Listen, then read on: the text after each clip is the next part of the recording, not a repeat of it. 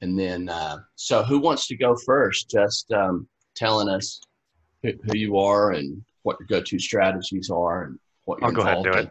Okay. Uh, so let's see.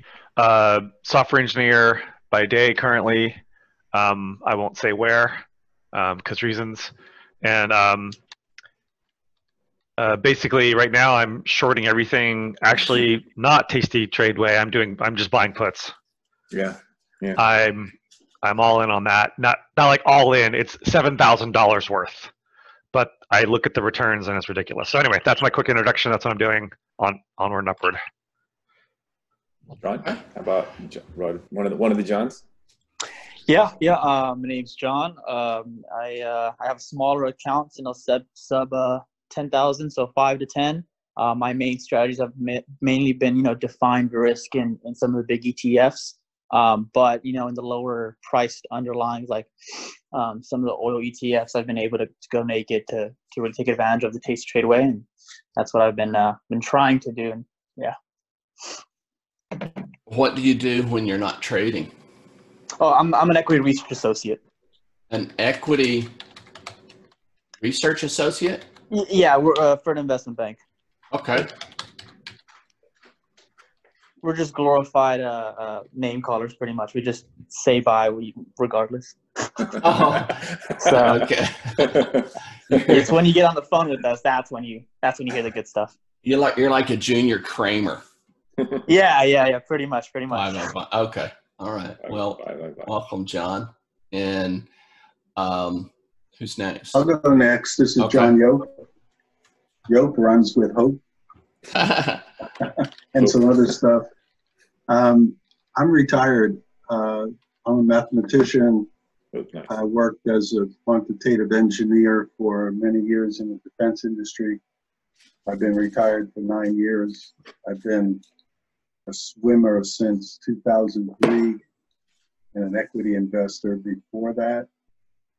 And uh, basically, I hang around the house. Did you say you were a mathematician, John? Yes. Okay. And so I do not get scared away by any of the quantitative stuff that flies by either on um, Tasty Trade or other stuff that I read, you know, all this That's gamma awesome. stuff and whatever. I kind of understand all that. Yeah. Wow. We need to. me- I put it in again. I didn't know what to do. Okay. Should I put the other stuff in? Yes, please.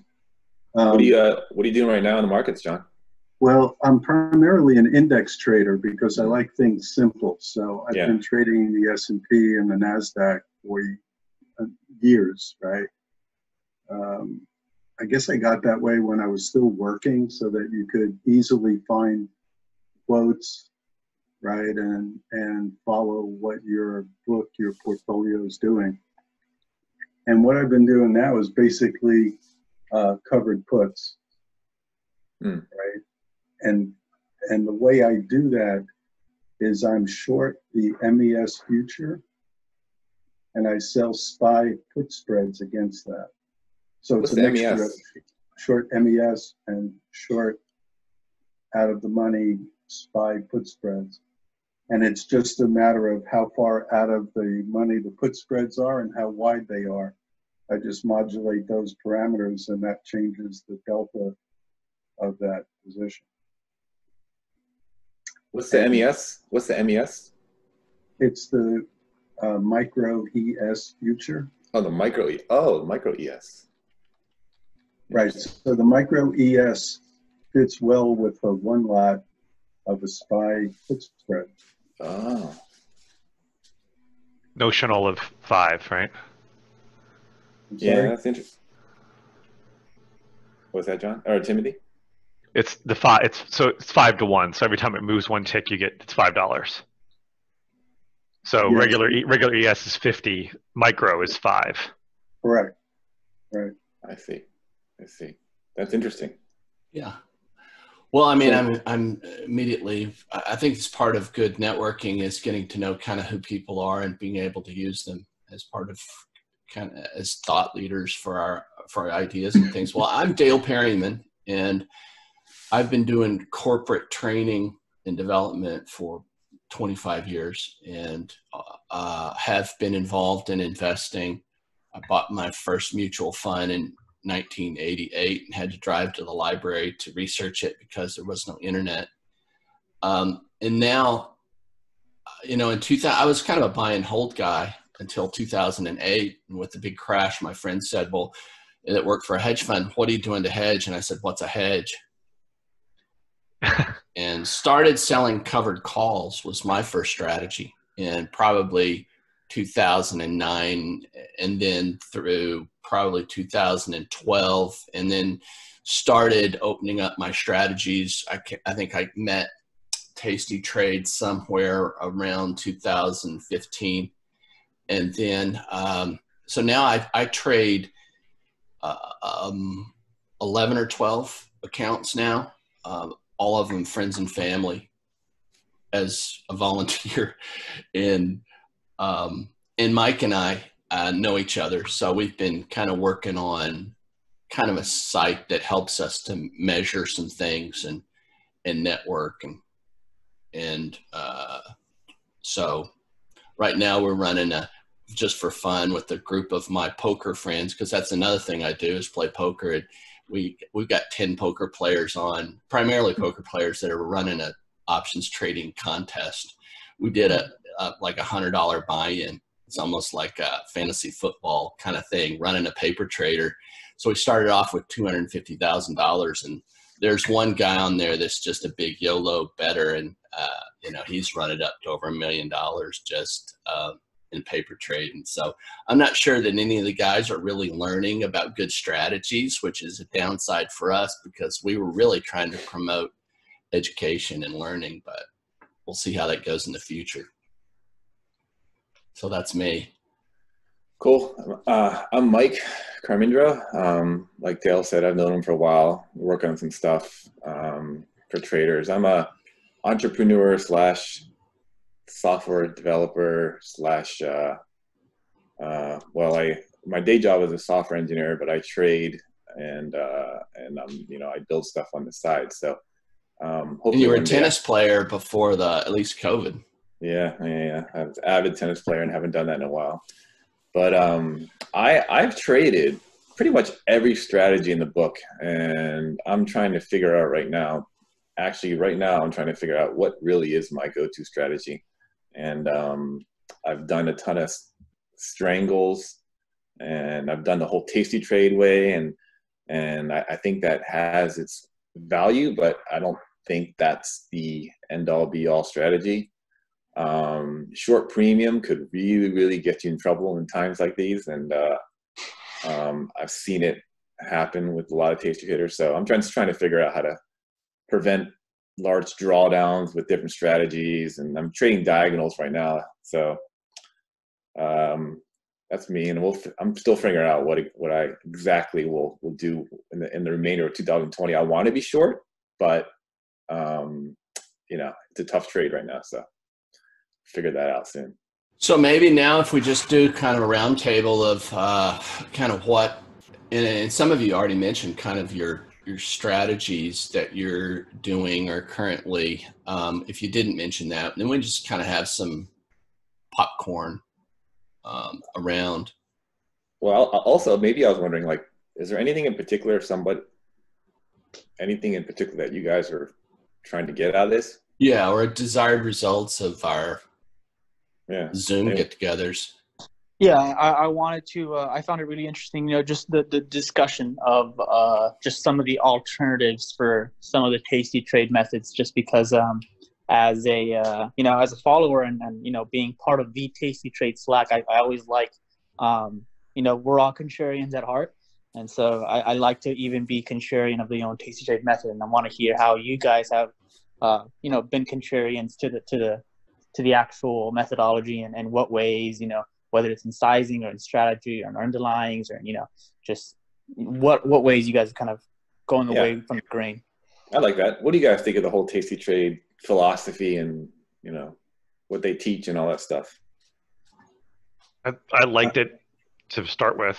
to start with. Well, yeah, like so. I mean, it, it uh, to, for me, it was like they all the all the learning and Mhm. you know kind of dipping in and like I eh, um really they they the, the way they, they they taught it all was was I think good and I think I I think I posted a couple days ago was like it works great if IV is like swinging around between like 14 to 25 or whatever and and those kind of environments That's, and that's then, actually that's actually about that's the kind of not the range I was actually thinking too. Somewhere Yeah. around somewhere around there, right? Yeah.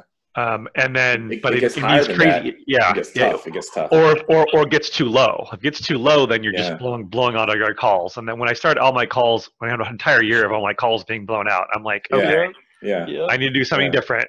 Right. And then right. what is that? And that's still an And- ongoing and- question. And the problem was for the most of Tasty Trade life, it's been in the low 15s, the the uh, the volatility until Yeah. recently. Yeah. So they've had some bad timing in terms of like you know teaching this in, in, a, in a really low volatile environment was setting people up for trouble. There, so- There's also the conflict of interest there, where they're like, Yep. they iron condors are great for commissions, hmm right? Yeah. So yeah. that but you know but but then that but then they started to have the lowest commissions on the market so it's like eh, Right. okay i'll still use them as a broker Right. and Right. and because because TOS did is like oh you want to trade futures? Fuck you. You know so and, and what where, where tasty works is like oh yeah whatever. Go ahead.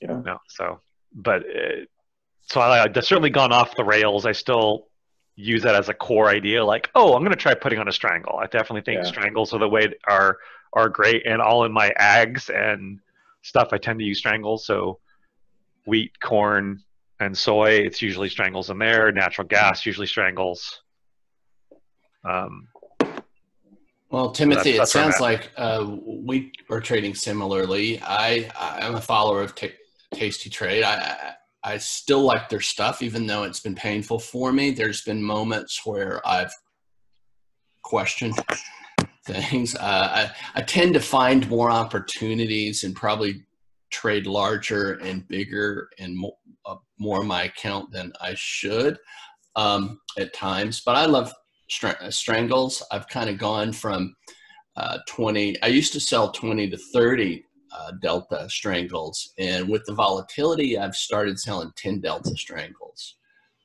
um, in high vol things. And, you know, I think if I was to say the three or four strategies that I use most often is poor man's covered calls for bullish strategies for things I'm bullish on, poor man's covered puts uh, for things I'm bearish on, and then um, Strangles, strangles, for things that I'm neutral. neutral on. And um, I vary anywhere from my goal is to vary anywhere from minus 200 beta weighted deltas to positive 200 beta weighted deltas in uh, my trading account, which is now a $50,000 trading account. But the other 10 accounts, some of them are larger. Um, IRA, obviously, I, and I use TOS, so I can't trade strangles. So I do iron condors on neutral strategies there. And sometimes I'll sell naked puts on things if I need some bearish beta weighted deltas. So uh, that's kind of my go to strategies. What's I the, uh, went from being very bearish to, you know, when there was a crash to the upside, uh, I didn't see this V. Uh, first, I think that I was in a bit of denial on the severity of COVID, and then uh, thinking that it was going to bounce back. And then when I started realizing severity, I went bearish just in time for the 30% uh, swing up. So that made me uber bearish uh, when it crashed to the upside. And then now with the kind of, uh, then once I almost gave up, like it's not going to correct, uh, then it, it's so it's it's swingy um, in some of my timing. Not that it's some of it's hindsight thinking, uh, but it's caused me to be swinging from overly bullish to overly bearish. Um, and when to make those adjustments is challenging. what what's the uh, mathematician think of mathematician think of the tasty trade way? Good question. Uh, I've been following them for a long time, pretty much from day one. Yeah, And I mean it must be good, right? I mean, they do all the numbers, right? Yeah. Um, well, first of all, what is the tasty trade method? Uh, That's You a good know, question. tasty trade is Tom's trip, right? Yeah. It's it's created. Tom has a lot of great attributes. He's got Mhm. a great attitude. He's got huge energy. Yeah. His uh, his wish for the world, you know, all of that stuff is fantastic. I do truly believe he he means well, and he's a good, you know, he has he has the retail trader in his, um, you know, he's he's behind the small guy. I believe that. Yeah. And I believe that there's that there's something missing for the absolute beginner. hmm Yeah, right. absolutely. Um, like having a coach, sort of a coach. You want to start learning tennis. Mm. Uh, what should what should you do for the first six months or a year? hmm Right. You don't just start selling strangles. Strangles and in a, in a spa. five thousand, ten thousand dollar account, right? I How about Tesla? Sell some Tesla strangles. mean, Yeah, I, I I actually uh have having some some college buddies when I try to put them on Tasty Trade um because they were just the Robinhood YOLO, you know, Wall Street bet kind of guys, and so I knew that they had an appetite for risk. So when I put them on options, you know, after they had gone through that initial learning curve, they this was um, uh, the, the, a big a big group of my friends that got into it, or maybe when. Uh, uh, like a year and a half ago, and and and you know when volatility was low for them, they they saw like okay, well we buy premium now, you know, like that's the tasty trade method, and and it was hard for me to to to always try to say, you know what, uh, technically yes, but I keep on hearing even from the network, you know, you always stay short. I mean, uh, the VIX was going at you know historical levels, like I mean, it's just going like super low, and and, and they were still shorting, still shorting, still shorting, and then. Uh, my professor, my professor of finance would, would tell me, you know what, it, it, it only works until it doesn't and, and, and shorting shorting vol is you get you get those small wins but that one big loss is what always wipes you out right. and, and and a lot of my friends um, the good thing is that you know tasty trade obviously knows that and, and and they they try to you know advocate for you know trading small but the problem is staying small is the problem and and you know with with trading uh, small trading small is one of the the most kind of confusing things you can tell Yeah. someone. Yeah, yeah, and and and it's because to say, oh yeah, you know, when when um when volatility is really small, you have to have like twenty percent of your portfolio only out there, and and Right. for And for how much smaller accounts, yeah how- nothing twenty percent is I can't even do a defined risk trade while staying in the you know parameters of being less than five percent Yeah. of my whole portfolio. You know, um, so it, it, it was difficult for my friends to start there, and they would ask me, and and and you know I was supposed to be the the, the guy that always followed Tasty Trade, and, and that was kind of difficult to, to kind of put them through and let them know the reality of you know what it, it kind of it swings ups and downs of, of what we do sometimes. And even even the tasty trade community when i would look at the slack it'd be lots of discussion on oh well you know where should we diverge from this strategy in this scenario or you know in this in these times? So i'd like to hear you guys input on that. I want to say uh, something John said, Rodriguez said that um, I, I've realized in the last couple of years, right? Basically, what affects option prices is price movement of the underlying, IV changes of the underlying, and time, right? time yep. P, yeah PVT. The price changes, noticeable price changes happen much more often than noticeable volatility changes. But Yeah. when the volatility changes happen, that shit kills you. If That's you're the not key. Positioned, if that's you're not that's positioned right, it kills you. yep yep yep yep Okay. And I found that out with a seventy-five thousand dollar intraday drawdown. oh my Luckily, most of it was recovered on the same day. the same yeah. and you know the rest of it over the next few months. was that the day when the vix jumped like to 80 It was back in January of 16, I think. oh I was still at TOS. Uh, my positions were way too big and way too naked. Real, And- way too big, way too naked. Yeah, that's that was Yeah, my 2008 portfolio. Right. And and I mess around with the R programming language, and I did a. I'm in the process of doing a Black Scholes model. Plus, I've done some pricing examples, and I found out that put spreads, out of money put spreads, have half the volatility, half the vega hmm of the naked leg alone. So basically, everything I sell in SPY is spread. Uh, very little bit is naked. Yeah, Yeah. I- I'm moving away from naked, a lot of naked stuff too. I mean, yeah. It, and it was it was interesting. I, I was talking to Dr. Jim um, when I was trading iron condors being smaller and and it, it- you know the probability of profit a lot of the time it was just a coin flip and, and I thought well how how is for what I'm getting you know when I being a poker player you just always think of you know EV and and you know when my friends would like they would try to For, message me and they for would the non-poker players, EV is expected value. hmm. yeah yeah yeah So and, it- and, a, If- a if fellow you're poker player, Dale. Yeah, I know that's bizarre. and it, it, they would say like because it's a simple formula and, and it's intuitive to think about it say you know the probability of winning times what you get when you win and times plus the probability of losing times you know what you'll lose when you when you lose and and they would say this is a negative ev play um this trade and and it was just uh, it was hard to reconcile and i asked dr jim and he said you know what that's what kind of happens with with uh, defined strategies just because you're paying so much to cover yourself but i said well kind of that's that's the point, you know. Like then, then what's the whole reason to define risk if you can't? You just just might as well just buy the stock or short the stock. And it was it's kind of difficult to to stay always defined. And you see all these people, you know, making so much from the premium on on just you know shorting naked, and it's uh yeah, it's hard. Yeah, your What- pro- your probability of profit goes up by being naked. Uh, you're giving away a, a portion of your pop by defining uh, those risks.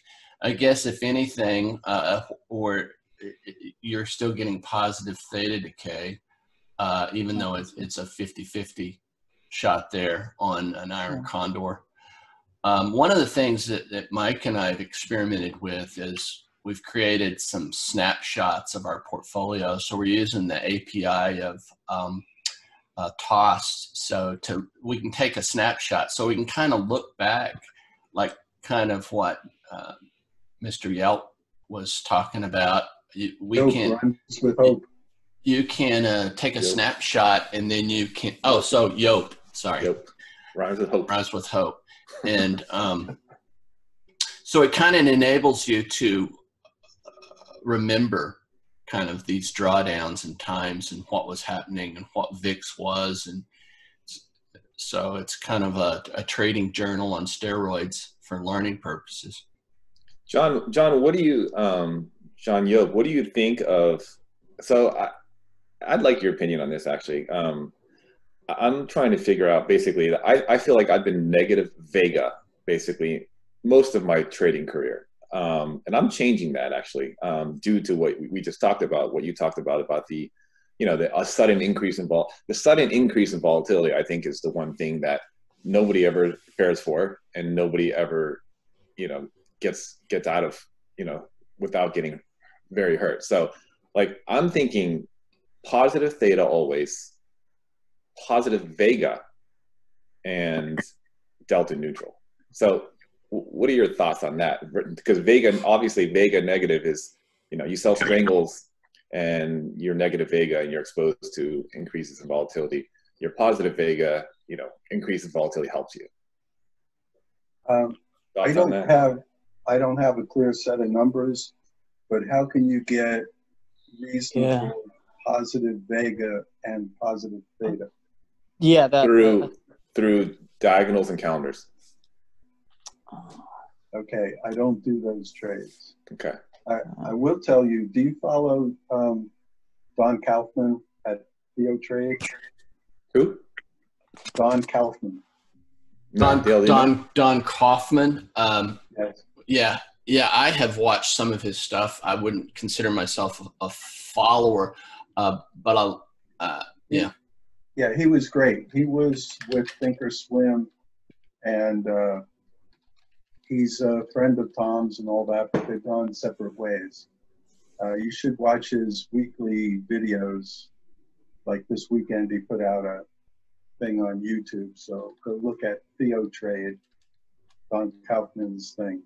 Anyway, uh, sometimes he flips around. He follows the SPX weekly expected move, right? So on Friday, you can see seven days later what the expected move is for SPX.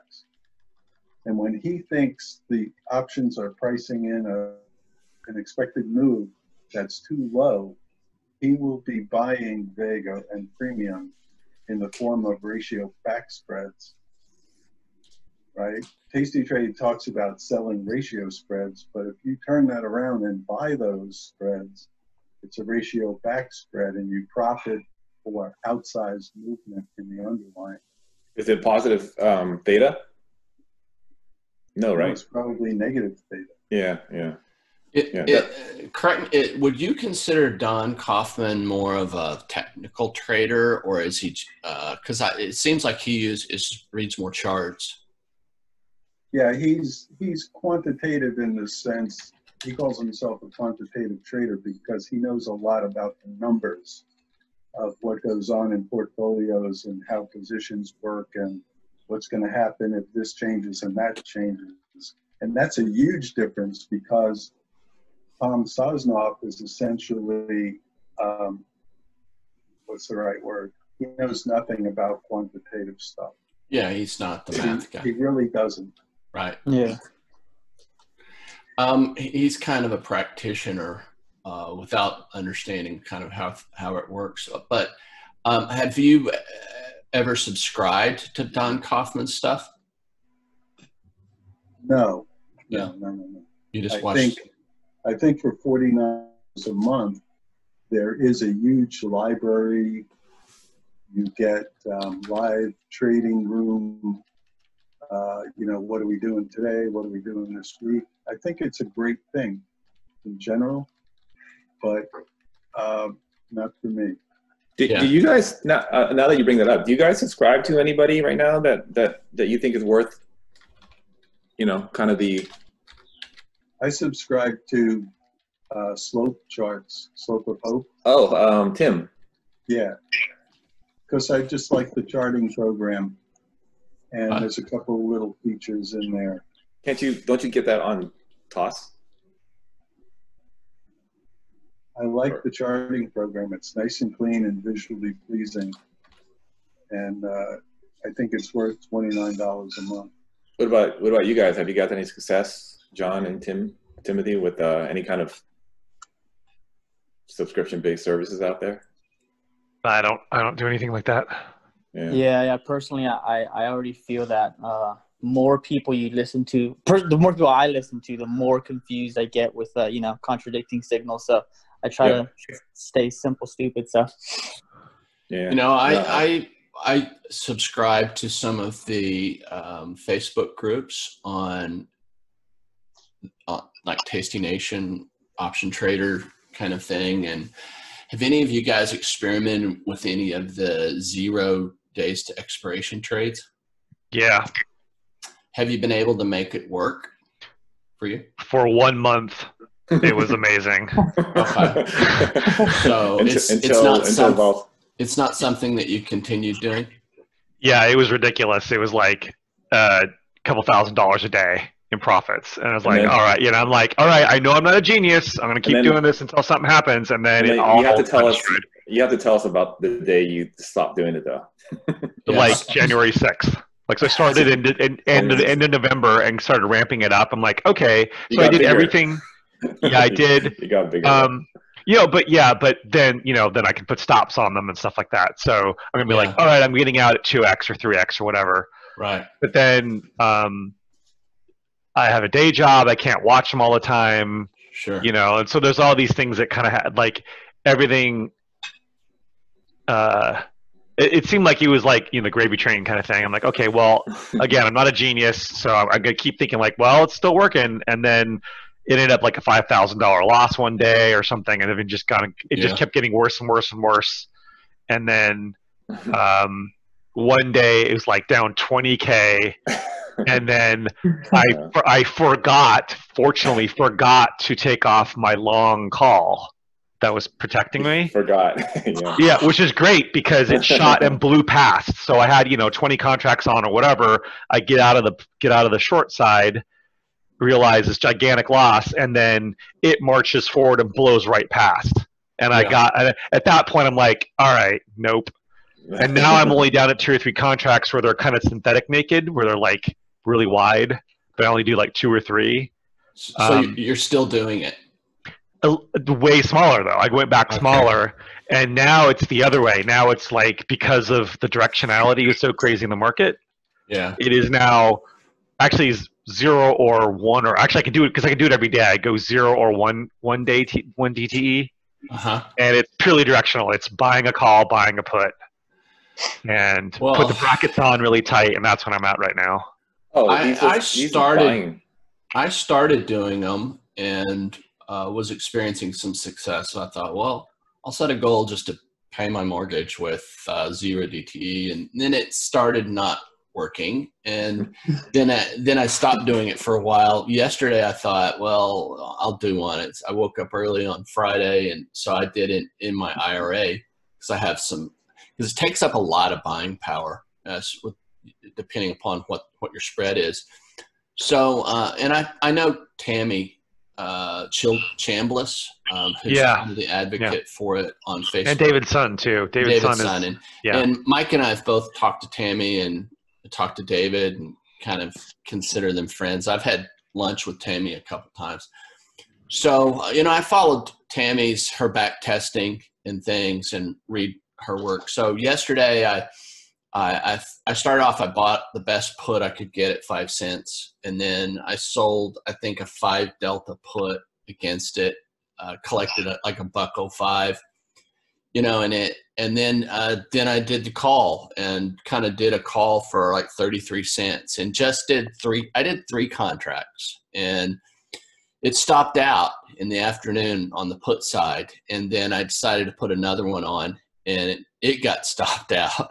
So when I first go back, uh, even though it's supposed to have like a 80, 80 to 85% probability of profit, uh, you know, I got stopped out twice. So I ended up I guess losing about 900 bucks yesterday. Um, so it's kind of like, well, maybe I don't know if I can make this work for me. So every now and then I'll do something that I consider a little bet. Um, it's almost uh, like an experiment to see if I want to continue doing it. So I think for me, jury's still out on zero DTs. I won't say I won't try them again, but uh, it doesn't seem that I can make it work consistently. Yeah, What's the, the, E- what's the EV on that? Yeah, what's the expected value on that, right? Well, what one of the things I did when it was working, so I had time. So that's one thing that's like I could be on my computer or whatever. The other thing was that one that I was learning from one guy because he was another I forget his name, but he he disappeared from the the Facebook group group that.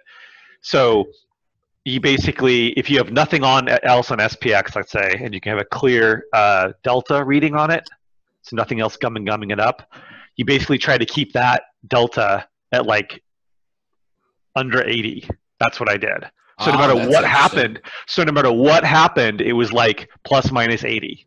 So if it starts going against you, I would add, I would add, maybe they're cheap, you know, really, maybe they're really narrow call spreads or narrow, very narrow put spreads, uh, you know, so they'd be adjusted somewhere, but I would always try to get it under 80. And on those days, it would be ridiculous. That, those were like $6,000 days where just be like, you just pile on everything. And if some go in the money, so what? You've made, you know, you put on the extra delta to kind of neutralize. Uh, so you're either buying or selling additional ones to adjust your delta. Yep. It was actually only only selling new spreads. Sometimes I would Ah, like, So you're li- selling a new spread to change your delta to the way you wanted it. uh, yeah, just you because it's a new, delta neutral trade, right? So I would just keep piling on, and at some point, obviously, you know, run out of buying power eventually. I mean, some of these trades, literally, it's like 70k buying power for this one trade, Right. but but so the but the thing is, it's it's not 70k in risk, yeah, I really. Yeah, you know. it's so, um, it's just what yeah. they're holding to manage the Right. risk. Right, and so and and so realizing that, and and and you know, my finger on the button. This is actually before the brackets were in. So, um, it, uh, then later when brackets came on the platform, I was able to to use that to be like, okay, well, two or three x. Then I started to notice three x isn't even real. Real that's not even viable because it's gone down to three x. Like early in the morning, if it swings a little bit, you'll you'll hit a three x loss, you'll be stopped out, and then you'll go up to your calls, and your the calls will stop out at three x, and then it will sink back and be right back in the middle. Yeah. And like, well, if I would have left it, it would have been fine. Um, granted, so there's always that weird thing like, well, are you is it going to be in or out? And there's that whole game, you know, the whole game, whole stock market game. But then keep just looking at your delta, um, and you know, levering in, lever, you know, layering or whatever and call it, buying tranches on both sides, getting in and out, and kind of. So you kind of dip your toes in, and then you strict, then you just manage delta the rest of the day, and you just you basically take losses or not and maybe you have a zero day. And there was some cases where I'd be like, you know what, this is not going the way I want to go. I'm just going to get out, and and then you know only down 100 or something like that. Yeah. Uh, Tammy Tammy told me that she got a call yesterday from a person that said, uh, you know, I'm trading these zero DTEs. Uh, I'm down seven thousand uh, dollars. What do I do? You know, and it's like, how long have you been trading? Um, a couple months. You know, and so she, that's kind of why she put that whole thing on Facebook about an analogy to flying and uh, you know, I don't know, use stop losses and because I think she wants to help people, but at the same time, she feels bad when some newbies really get hurt doing the strategy. Yeah, but it's it's tempting, but I'm I'm now I'm a little more directional, uh, just because the it I think the zero DTEs. I'll wait till it's a slow grind up and and VIX is 11. Then I know they work. I think that's I think that's when they work, and I I was fine. It's uh yeah, it's hard. Yeah, your What- pro- your probability of profit goes up by being naked. Uh, you're giving away a, a portion of your pop by defining uh, those risks. I guess if anything, uh, or you're still getting positive theta decay, uh, even though it's, it's a 50-50 shot there on an iron Yeah. condor. Um, one of the things that, that Mike and I have experimented with is we've created some snapshots of our portfolio. So we're using the API of um, uh, TOS, so to we can take a snapshot, so we can kind of look back, like kind of what uh, Mr. Yelp was talking about. You, we Hope can hope. you can uh, take a Yep. snapshot and then you can oh so Yelp. sorry Yep. Rhymes with hope. Rise with Hope. And um, so it kind of enables you to remember kind of these drawdowns and times and what was happening and what VIX was. And so it's kind of a, a trading journal on steroids for learning purposes. John, John, what do you, um, John Yob, what do you think of? So I, I'd like your opinion on this actually. Um, I'm trying to figure out basically. that I, I feel like I've been negative Vega basically most of my trading career, um, and I'm changing that actually um, due to what we just talked about. What you talked about about the, you know, the a sudden increase in vol, the sudden increase in volatility. I think is the one thing that nobody ever prepares for, and nobody ever, you know, gets gets out of you know without getting very hurt so like i'm thinking positive theta always positive vega and delta neutral so what are your thoughts on that? Because vega obviously vega negative is you know you sell strangles and you're negative vega and you're exposed to increases in volatility. Your positive vega you know increase in volatility helps you. Um, I don't have, I don't have a clear set of numbers, but how can you get reasonable positive vega and positive theta? Yeah, that through through diagonals and calendars. Okay, I don't do those trades. Okay. I, I will tell you, do you follow um, Don Kaufman at Theo Trade? Who? Don Kaufman, Don, Dale Don, Don Kaufman. Um, yes. Yeah, yeah, I have watched some of his stuff. I wouldn't consider myself a follower, uh, but I uh, yeah. Yeah, he was great. He was with Thinkorswim, and uh, he's a friend of Tom's and all that, but they've gone separate ways. Uh, you should watch his weekly videos. Like this weekend, he put out a thing on YouTube. So go look at Theo Trade, Don Kaufman's thing. Anyway, uh, sometimes he flips around. He follows the SPX weekly expected move, right? So on Friday, you can see seven days later what the expected move is for SPX. And when he thinks the options are pricing in a, an expected move that's too low, he will be buying Vega and Premium in the form of ratio back spreads. Right? Tasty Trade talks about selling ratio spreads, but if you turn that around and buy those spreads, it's a ratio back spread and you profit for outsized movement in the underlying. Is it positive um, theta? No, right? It's probably negative theta. Yeah, yeah. It, Yeah. it, correct. It, would you consider Don Kaufman more of a technical trader, or is he? Because it seems like he use, is reads more charts. Yeah, he's he's quantitative in the sense he calls himself a quantitative trader because he knows a lot about the numbers of what goes on in portfolios and how positions work and what's going to happen if this changes and that changes. And that's a huge difference because Tom Sosnoff is essentially, um, what's the right word? He knows nothing about quantitative stuff. Yeah, he's not the He, math guy, he really doesn't. right? Yeah. Um, he's kind of a practitioner uh, without understanding kind of how how it works. But um, have you uh, ever subscribed to Don Kaufman's stuff? No. No, no, no, no. You just I watch. think, I think for forty nine a month, there is a huge library. You get um, live trading room. Uh, you know, what are we doing today? What are we doing this week? I think it's a great thing in general, but um, not for me. Do, Yeah. do you guys now, uh, now that you bring that up, do you guys subscribe to anybody right now that that that you think is worth, you know, kind of the I subscribe to uh, slope charts, slope of hope. oh um, Tim? Yeah, because I just like the charting program, and Uh. there's a couple of little features in there. Can't you don't you get that on TOS? I like the charting program. It's nice and clean and visually pleasing, and uh, I think it's worth twenty nine dollars a month. What about what about you guys? Have you got any success, John and Tim Timothy, with uh, any kind of subscription based services out there? I don't. I don't do anything like that.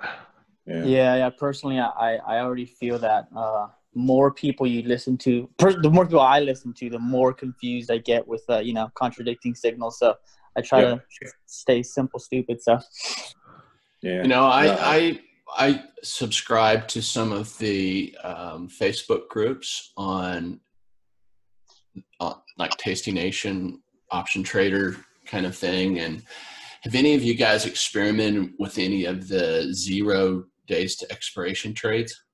Yeah, Have you been able to make it work for you? for one month, it was amazing. Okay. So until, it's- it's not some- It's not something that you continued doing. yeah, it was ridiculous. It was like a couple thousand dollars a day in profits, and I was And like, then- all right, you know, I'm like, all right, I know I'm not a genius. I'm gonna keep then- doing this until something happens, and then, and then it all you have to tell us you have to tell us about the day you stopped doing it though. Like January 6th. Like so I started in, in, in, in, end of November and started ramping it up. I'm like, okay, so I did bigger. everything. Yeah, I did. you got bigger. Um, you know, but yeah, but then you know, then I can put stops on them and stuff like that. So I'm gonna be like, all right, I'm getting out at two x or three x or whatever. Right. But then um, I have a day job. I can't watch them all the time. Sure. You know, and so there's all these things that kind of had like everything. Uh, it, it seemed like he was like you know the gravy train kind of thing. I'm like, okay, well, again, I'm not a genius, so I'm, I'm gonna keep thinking like, well, it's still working, and then it ended up like a five thousand dollar loss one day or something, and it just kind of it just kept getting worse and worse and worse. And then um, one day it was like down twenty k, and then I for, I forgot, fortunately, forgot to take off my long call that was protecting me. Forgot. yeah. Yeah, which is great because it shot and blew past. So I had you know 20 contracts on or whatever. I get out of the get out of the short side, realize this gigantic loss, and then it marches forward and blows right past. And I Yeah. got and at that point I'm like, all right, nope. And now I'm only down at two or three contracts where they're kind of synthetic naked, where they're like really wide, but I only do like two or three. So Um, you're still doing it. A- way smaller though. I went back Okay. smaller, and now it's the other way. Now it's like because of the directionality is so crazy in the market, Yeah. it is now actually is zero or one or actually I can do it because I can do it every day. I go zero or one one day t, one DTE, Uh huh. and it's purely directional. It's buying a call, buying a put, and put the brackets on really tight, and that's what I'm at right now. Oh, I- he's I started- I started doing them and uh, was experiencing some success. So I thought, well, I'll set a goal just to pay my mortgage with uh, zero DTE, and then it started not working, and then I, then I stopped doing it for a while. Yesterday, I thought, well, I'll do one. It's, I woke up early on Friday, and so I did it in my IRA because I have some because it takes up a lot of buying power, uh, with, depending upon what what your spread is. So, uh, and I, I know Tammy uh, Chil- Chambliss, um, who's Yeah. the advocate for it on Facebook. And David's son too. David's David's son is. And, yeah. and Mike and I have both talked to Tammy and talked to David and kind of consider them friends. I've had lunch with Tammy a couple times. So, uh, you know, I followed Tammy's, her back testing and things and read her work. So yesterday I, I, I, started off, I bought the best put I could get at five cents. And then I sold, I think a five Delta put against it, uh, collected a, like a buck oh five you know, and it, and then, uh, then I did the call and kind of did a call for like 33 cents and just did three, I did three contracts and it stopped out in the afternoon on the put side. And then I decided to put another one on and it, it got stopped out. So when I first go back, uh, even though it's supposed to have like a 80, 80 to 85% probability of profit, uh, you know, I got stopped out twice. So I ended up I guess losing about 900 bucks yesterday. Um, so it's kind of like, well, maybe I don't know if I can make this work for me. So every now and then I'll do something that I consider a little bet.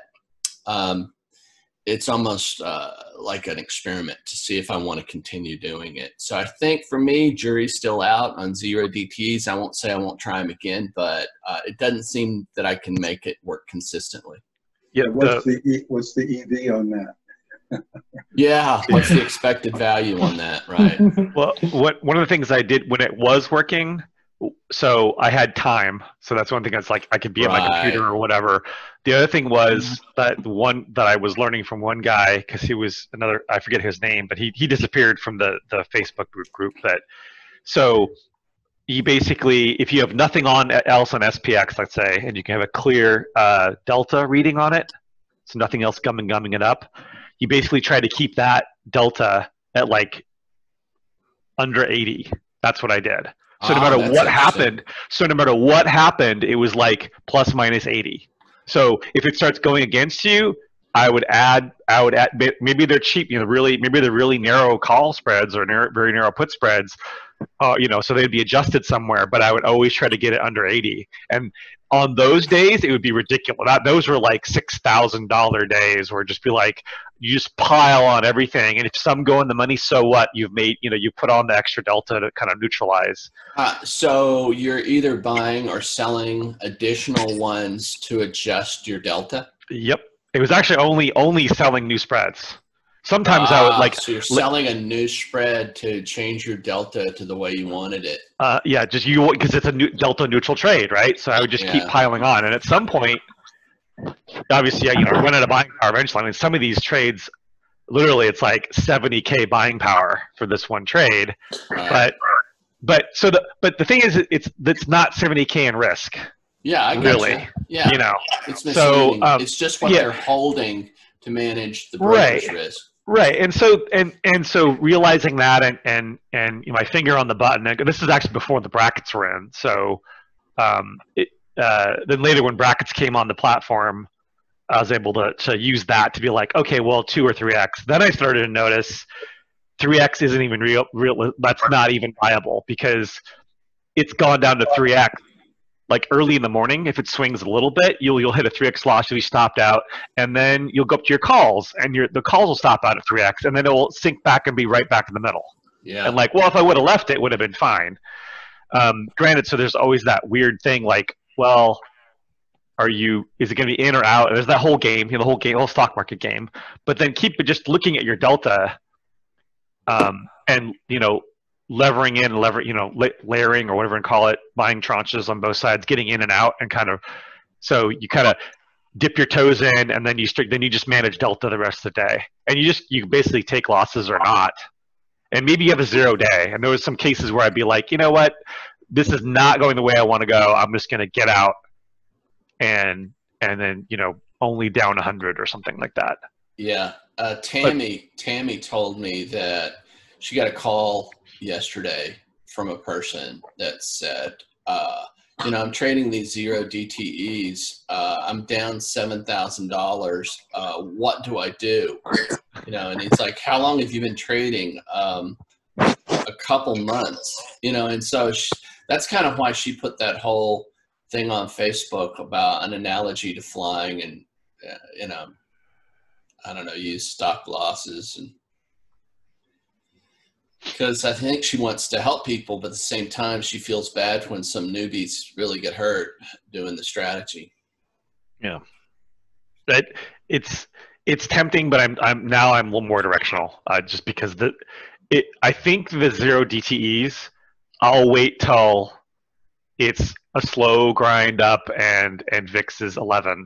Then I know they work. I think that's I think that's when they work, and I I was fine with you know uh, that that's when I could do it. So I think I think it could work, and, and I'm I'm tempted to try it if VIX ever gets back to 11 or something. I'm tempted just to, Okay. to, to give it a shot.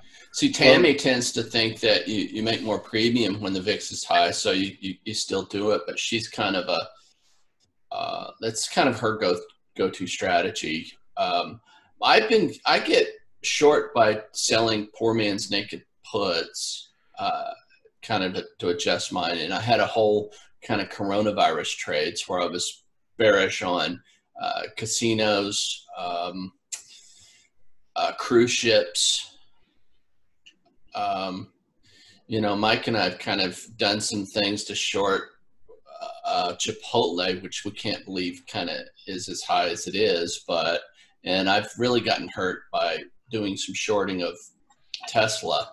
I know Mike tends to be more long Tesla, but I think it's more of a cult-like following.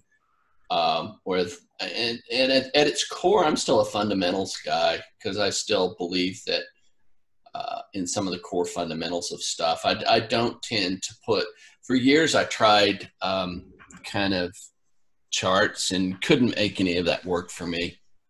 So finally, I just, uh, and I'm not saying that other people can't, and I'm open to changing my mind if people can show me some good indicators on charts that are reliable, but I just haven't been able to make it work for me. Right. So there, there are folks that, um, excuse me, I'm eating lunch here. There are folks that use options because they're stock pickers, right? They buy calls, they buy puts, they do covered calls, they do covered puts. Um, I'm, I'm a terrible stock picker, so I don't do that. Although I told you I trade indexes, so I'm trading index action, right? Ability changes. For services all over the place that'll sell you, uh, uh, right? Call, or not calls, what is it? Um, signals or whatever, right? It's a good time to buy Disney calls. Right. Yeah, thing. But I do do it in a very chicken shit kind of way, right? Like I sold some puts in Disney, but they're so far out of the money that you guys wouldn't even do it, probably. right? Right. I want that moat. I don't know where Disney is, 115 bucks. Yeah. You know, I'd be selling like an 80 foot, right, which is 10 delta. I don't know if those numbers are right, but you know, You'd, and you'd be uh, very happy at owning Disney at 80. yeah, and I'd even take it Yeah. at 80. I take 100 shares at 80. But what usually happens is when I get 50 percent of max profit, I just close it out because I'm bored, right? Well, 80. So an 80 Disney put right now for 34 DTE is only basically 40 bucks. Yeah, I'd sell that. Really? Yeah. That- That's that. I can't even get out of bed for that. Like I would, I would rather, I would rather buy that. I would rather buy it or wait till it is 85 and then sell it. Like that. That seems like that. Because it, you, Well, yes. Go ahead. And you know, I get tired of looking at the spiders, so I do a little something extra every once in a while. Um, and I'll take forty bucks. I'll give you my address. Send me $20. Well, and, and, and um, my guess is that's that's not the only thing you're doing, John. So if you add 40 times, you know, 20 other things you're doing, and do that every Okay. month. I've got some pretty pretty big exposure in spy puts, ES puts. I mean, spy options. At this Short or long? I'm Playing both sides. Usually, I just play the put side, but right now the call side is working. So spy and ES. It was uh, it, it was it's. I want to ask you guys. Uh, I, I asked all my buddies this that that trade. You know, have you guys? I, I think as Tasty Trade followers, we're all pretty active. But would you guys say you guys are more active or less active during this whole pandemic? Uh, I had a few friends that follow Tasty Trade like with me, but uh, they've just been less active now because they they they're kind of understanding that no one really knows what's happening, and uh, especially with the market just you know uh, disconnecting itself from reality. They they they're they're they're following the belief that that it's better to just you know they're they're starting to just buy stocks and and maybe as a follow up ask you guys you know have you when's the last time you guys actually just bought stock and uh, Well, Yeah. the, there's like multiple questions that you asked there. One is uh, how active are we being, and second, uh, and I, I think if you're a buy and hold guy, it makes sense for some of these guys just to sit on their hands. Uh, but if you're trading options, uh, for me, I've I would say I've been equally active. oh, okay. yeah, I got 50 trades yesterday. 50. 50. Uh, and I probably Who I does pro- Timothy? yeah. I probably put do uh, two to three trades a day, multiple legs, but do it in ten different accounts. But Timothy, aren't you saying? Or didn't you say you're you're loading up on puts right now? Yeah, right now I am, but it still it doesn't like there's just there's so much opportunity. Like so, yeah, but right now I'm I'm doing the puts, but also there's the uh, I play with SPX a bunch. That's not the zero DT per se because I'm it's they're more directional. It's that's not I'm not it's not they're not theta trades. They're purely directional. I pop in, uh, let's say I buy, um, you know, 40, 40 delta puts. I see if they make money. If they do, I let them ride and I then if they if they start making profit, I start moving stops, and that has that has I've recovered lots of money from that recently. So um, sometimes it doesn't work, and then I, then I just get stopped out. But it's like three hundred dollars on a, on a bad one. But with these moves are these moves are crazy. Yeah. So what? Timothy, I, I, how many, oh, Oh, go ahead, sorry. Going. No, keep going. Oh, I'm just saying, like I, the tasty trade thing, like I, kind of gonna go back to that a little bit. Like I got tired of having, like, not having, it, like having all this indecision. Like I watched my account melt on March 25th or whatever. Like Mhm. I didn't do anything. And I'm just like, oh, this sucks. Oh, this it'll come back. It sucks. It'll come back. Meanwhile, I have an N, you know, one NQ contract on that's just disintegrating, and it even went. Then you know, then then it, its profit went negative. And I'm like, oh, it'll be fine. It'll be fine. I'll you know, I'll just I'll sell some I'll sell some puts against it, and then it gets worse and worse and worse. It, it'll be fine. And then I um then I watched this thing go all the way back up. it Yeah, didn't do yeah. anything, and then was like, all right, I'm being dumb. I'm just I gotta you know let go of everything I had been doing because it wasn't working obviously. So um, so now it's all directional. So so it was 50, but like relative to what? So previously, how many trades do you usually do um, a day? Well, let me. Look, I'll click on my history. Uh, transactions. It's a year to date. I have probably fourteen thousand dollars in fees and commissions. So you can imagine how many trades that is. Uh, okay. Timothy, does um, does So I can't. I don't know. It's a lot. Yeah, yeah, yeah. yeah. does neg- buying puts does your negative theta decay uh, bother you at all? Nope. Because the so again, I, I so here's what I did. Um, uh, and again, all grains of salt, everyone. I mean, this Sure. is I just something I'm trying. I can afford it. You know, it's the kind of thing I can afford. So, um, again, I watched Big Short a million times. Uh, Bill Ackerman, right? He just did that credit default swap um, in March and made two billion dollars and whatever. And also uh, Jamie Mai and you know from the original Big Short as well. But I was digging into all those guys and what they were doing. So like Cornwall would go look for badly priced options, right? So, um, and I've also actually I'm gonna po- post this on Slack at some point. Um, but I read all the Market Wizards books and the Hedge Fund Wizard books. I don't know if you've heard of like they don't give specific strategies; they just give like mentality. And I kept no one there is going like, "Oh yeah, I sell strangles." Like a, a lot of like, like half of the guys are, are technical chart readers, and the other guys are fundamental.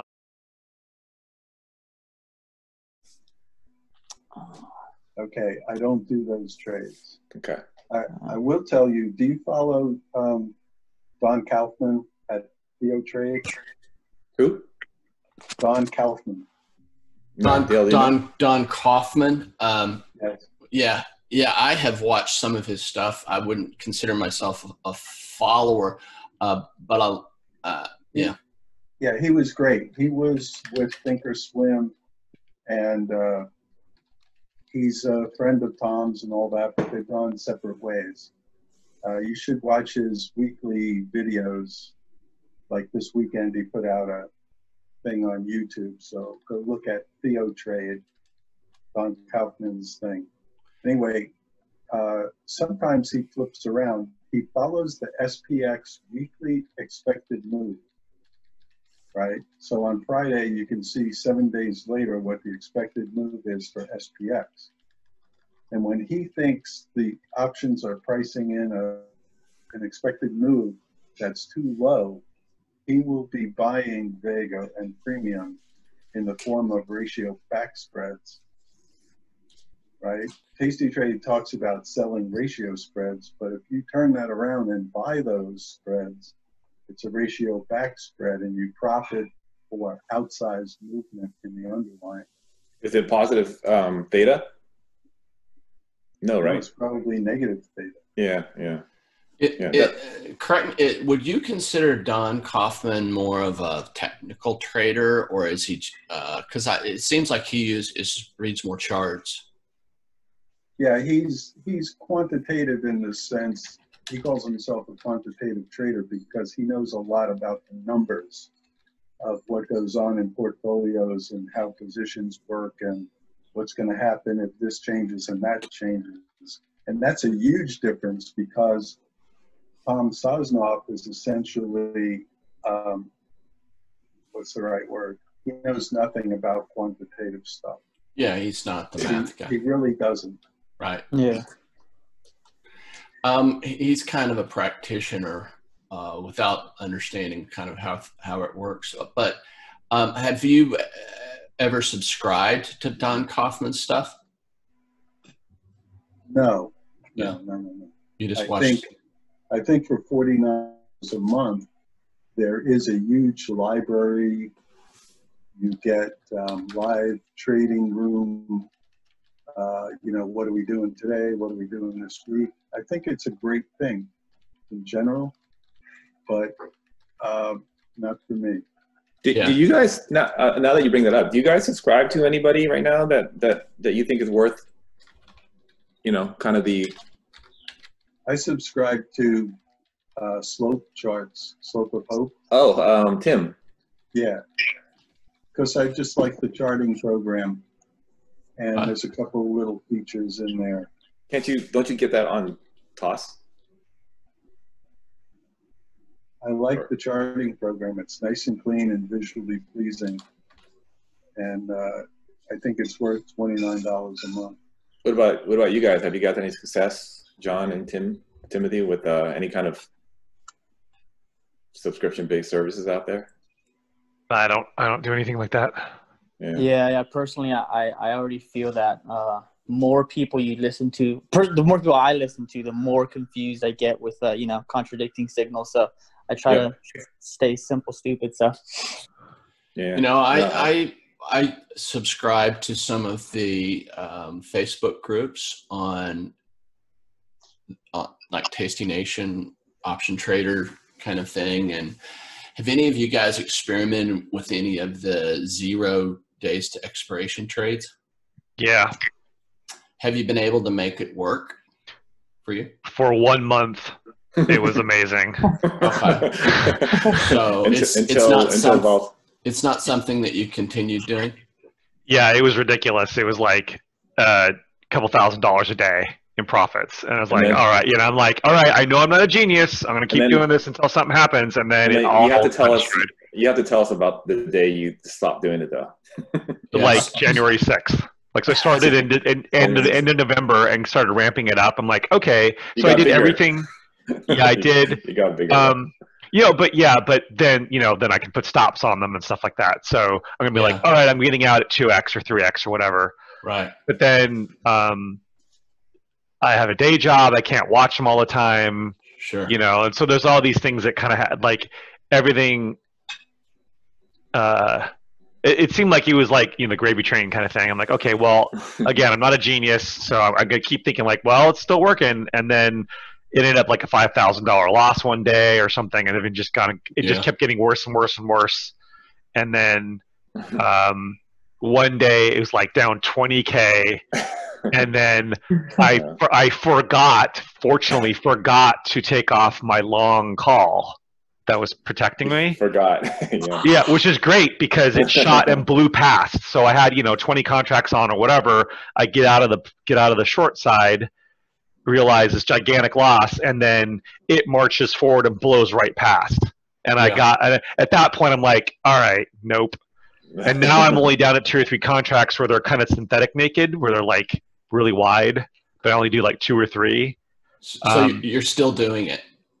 a- way smaller though. I went back Okay. smaller, and now it's the other way. Now it's like because of the directionality is so crazy in the market, Yeah. it is now actually is zero or one or actually I can do it because I can do it every day. I go zero or one one day t- one DTE, Uh huh. and it's purely directional. It's buying a call, buying a put, and Well- put the brackets on really tight, and that's what I'm at right now.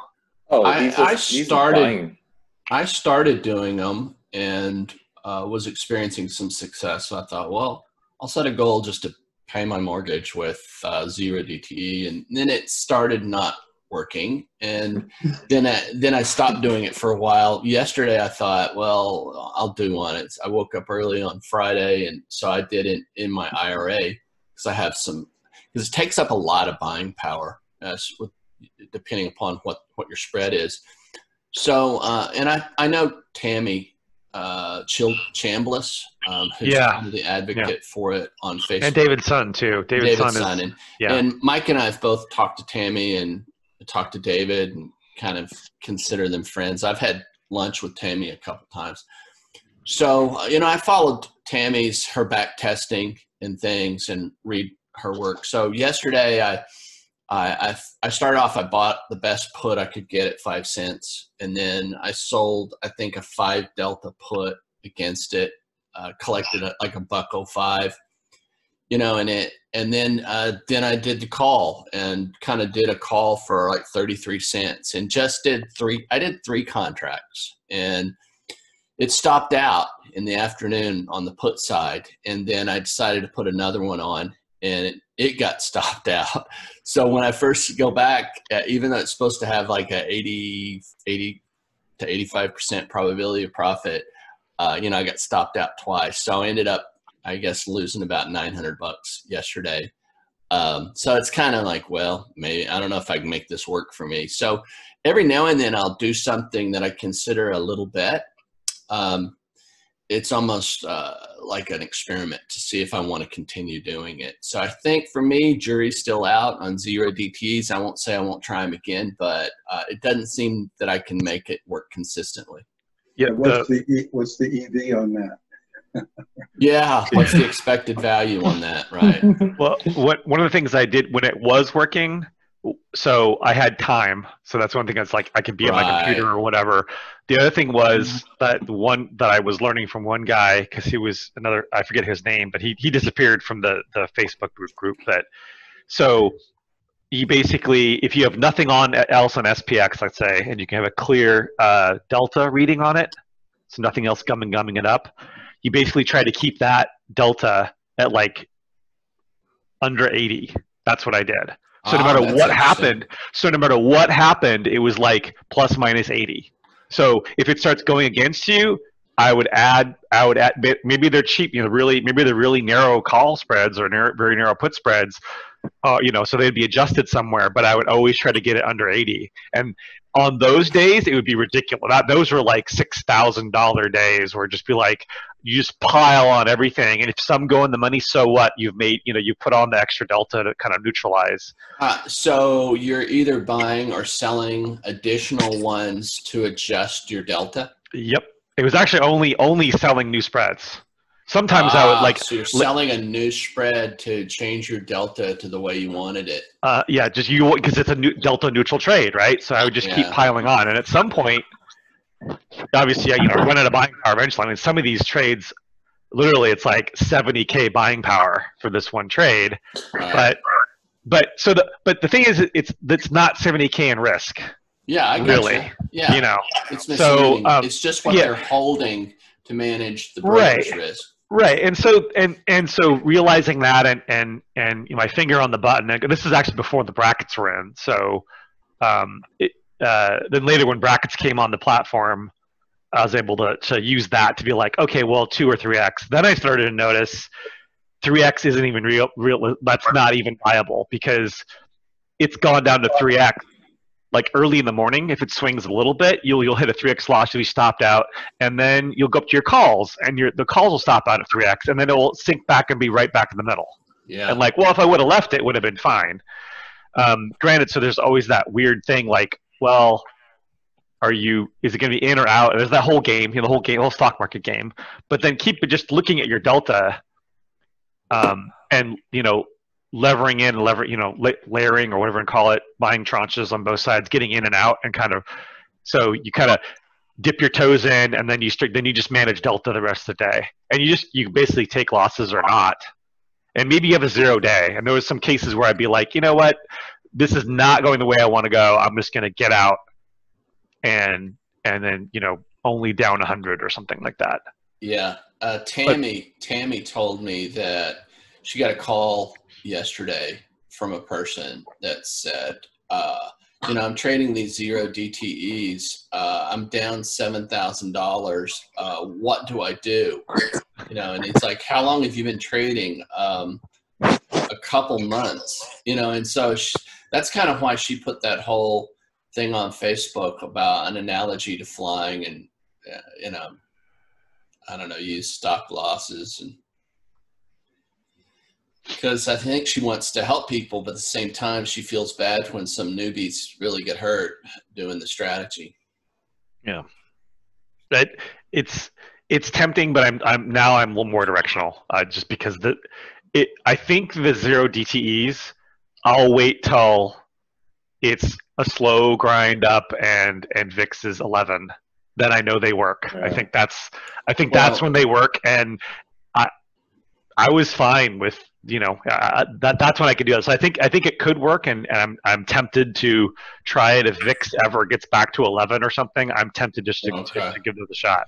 See, Tammy tends to think that you, you make more premium when the VIX is high, so you, you, you still do it, but she's kind of a, uh, that's kind of her go, go-to strategy. Um, I've been, I get short by selling poor man's naked puts. Uh, kind of to, adjust mine, and I had a whole kind of coronavirus trades where I was bearish on uh, casinos, um, uh, cruise ships.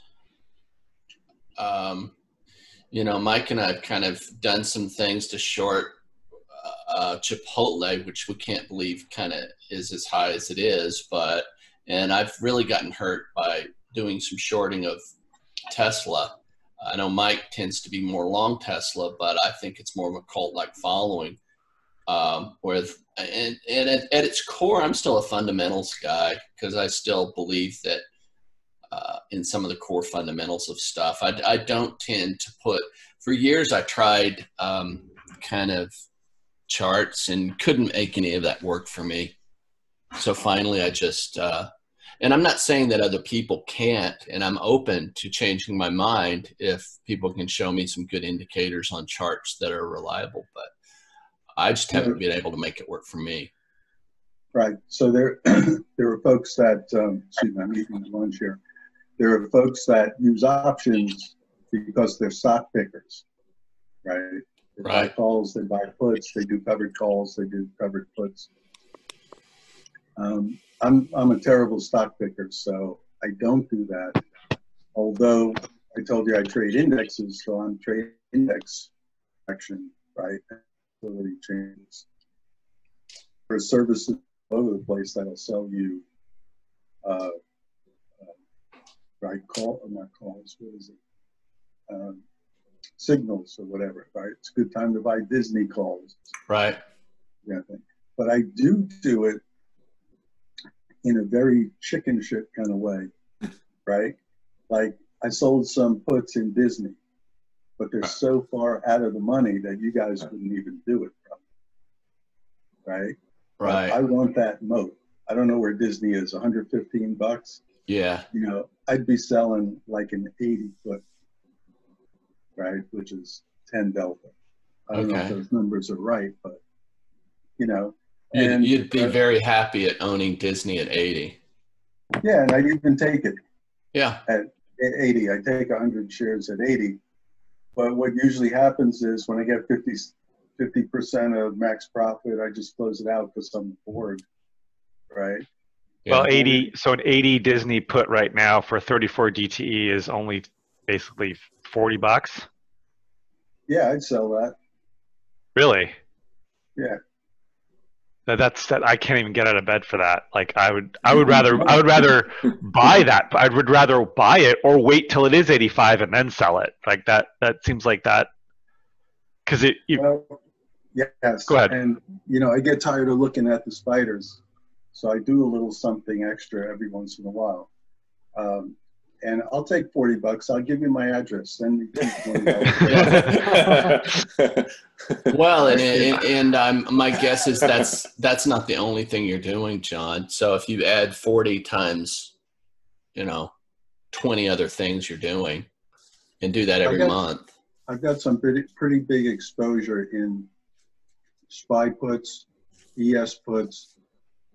I mean, spy options. Uh, just Short or playing- long? Playing both sides. Usually, I just play the put side, but right now the call side is working. So spy and ES. It was uh, it, it was it's. I want to ask you guys. Uh, I, I asked all my buddies this that that trade. You know, have you guys?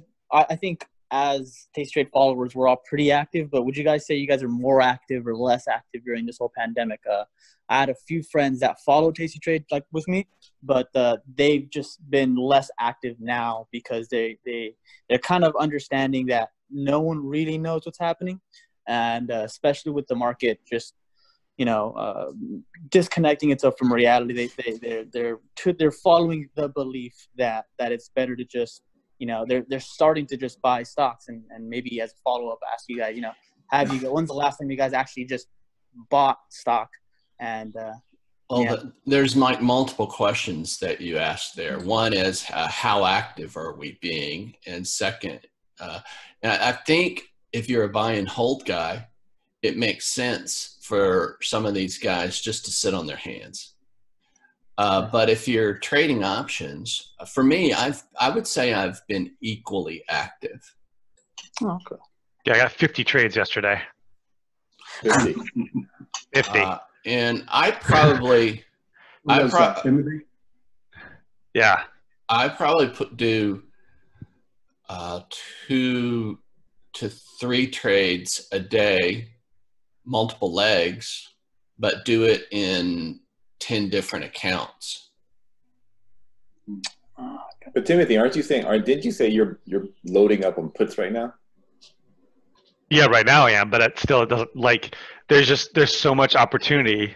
Like so yeah, but right now I'm I'm doing the puts, but also there's the uh, I play with SPX a bunch. That's not the zero DT per se because I'm it's they're more directional. It's that's not I'm not it's not they're not theta trades. They're purely directional. I pop in, uh, let's say I buy, um, you know, 40, 40 delta puts.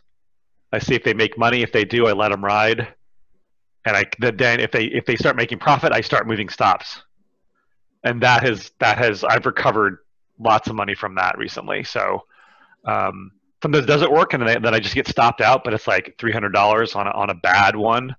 But with these moves are these moves are crazy. Yeah. So what? I, I, how many? Oh, go ahead, sorry. No, keep going. Oh, I'm just saying, like I, the tasty trade thing, like I, uh, kind of gonna go back to that a little bit. Like, I got tired of having like not having it, like having all this indecision. Like I watched my account melt on March 25th or whatever. Like mm-hmm.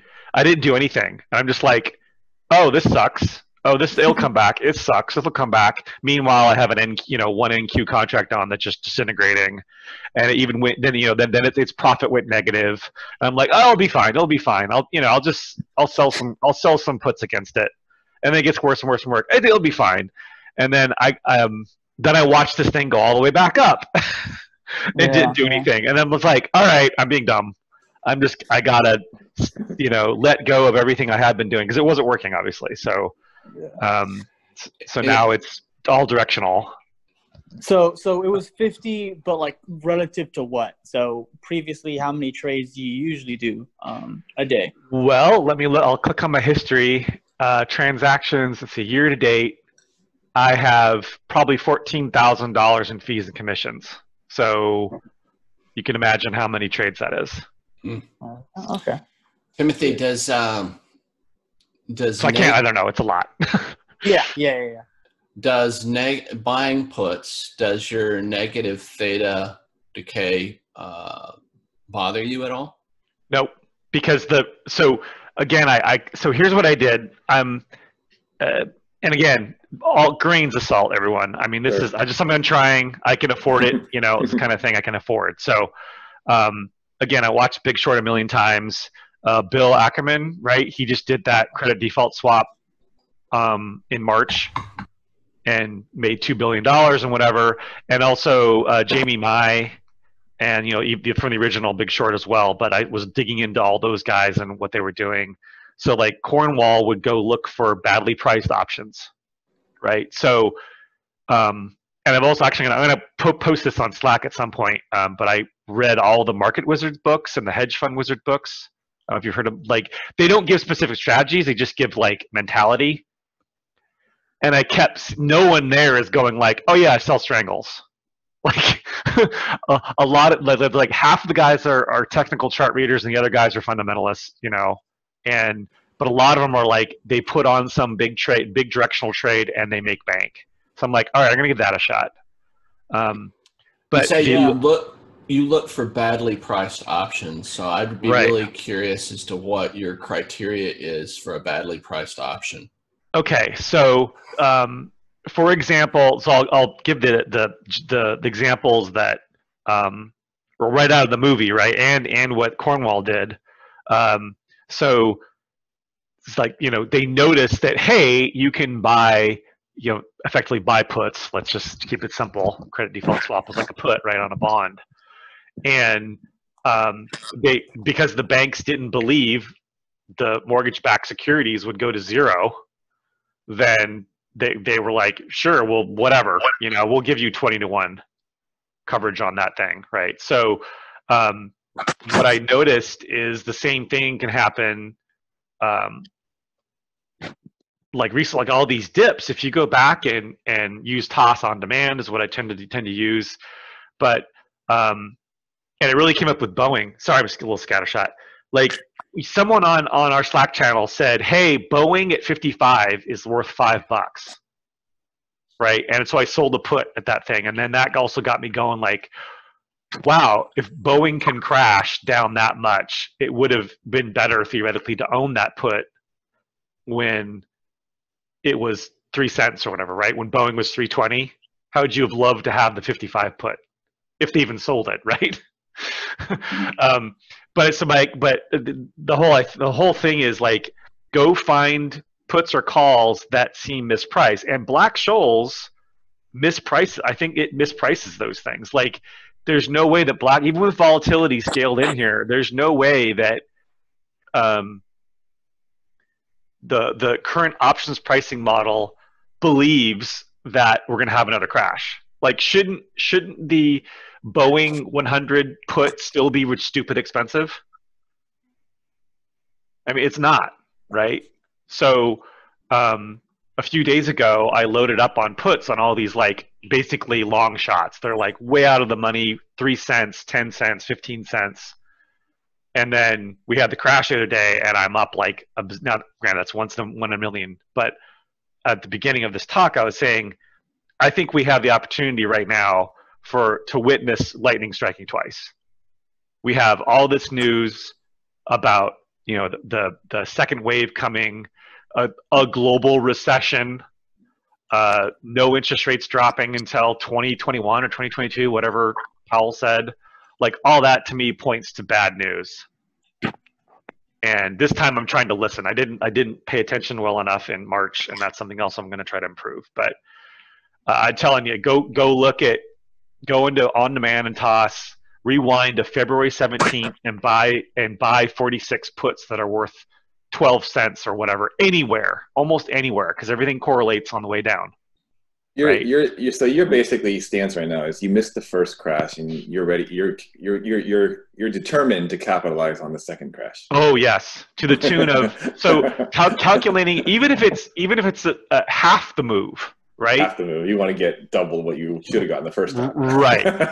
and and which so this but these are the kind of trades that like the you know these these are the things I should be looking for, and I wasn't. I, well educated enough. And by the way, thank you to all you guys. Like this whole Slack channel is like having this little community and people bouncing ideas around and stuff, and just bringing things to my attention has been like fantastic. Like all the little videos are posted, the Macro Voices podcast, all that stuff has been like, oh wow, you know, interest rates and things isn't all that, you know, it's complex but not that bad. I can try to understand it more, and the dollar and all this other stuff. Anyway, I agree. By the way, yeah. So um, and also Yope, um, you're my hero. I listen to everything you say.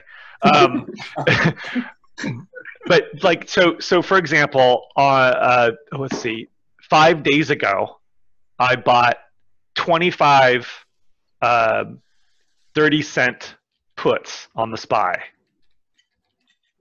and um, for yeah, it was it cost me 800 bucks. So now people are saying like, oh well, oh my god, if it goes it goes up, you lose 800 dollars. Sure, okay. The return on that, if it goes down, if it if it you know even gets near 230 strike, is redonkulous. Like it's it. Uh, but how many times do you have to pay the 800 to get that move? Yeah, that's the key. To me, it might nailed it because uh, while I agree with you, so many times my timing has been off it's usually uh, awful. Use timing is usually awful. right, for, for right. but okay, but but break, but I but whip out a spreadsheet. uh, SPY break even. Uh, where's my where's my spreadsheet? There it is. Uh, for example, um, March low was 222 in SPY. Uh, it was a two delta. It was $28 on in March 18th for that for that put um, 26 cents currently or so. Um, let's see, open, open interest, blah, blah, blah, blah. Okay, that is, um, let me highlight this. Months until, months until break even, 104.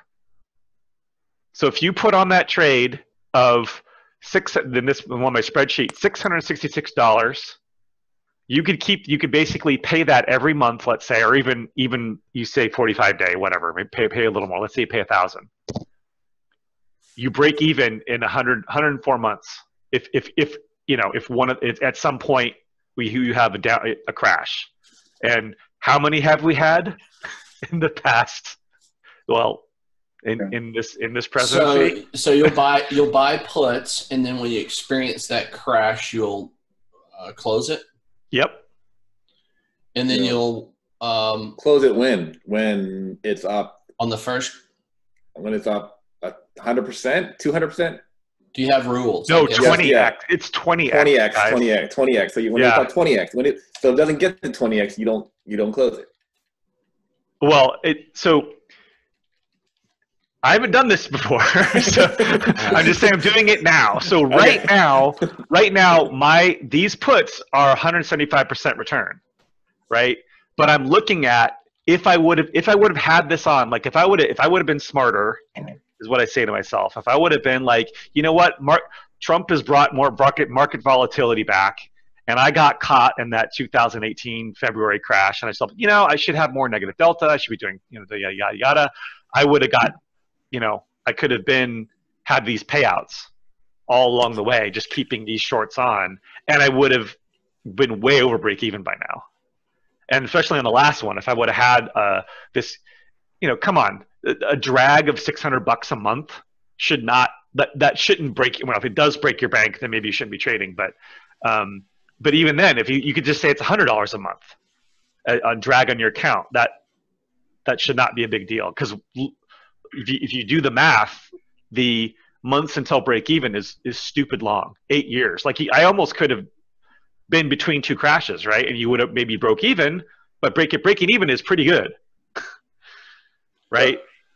So I, I know Well, like, I, I mean, between Versus you, losing all that money, right? So between you and I, um, I think our trading styles currently snapshot today couldn't be more different.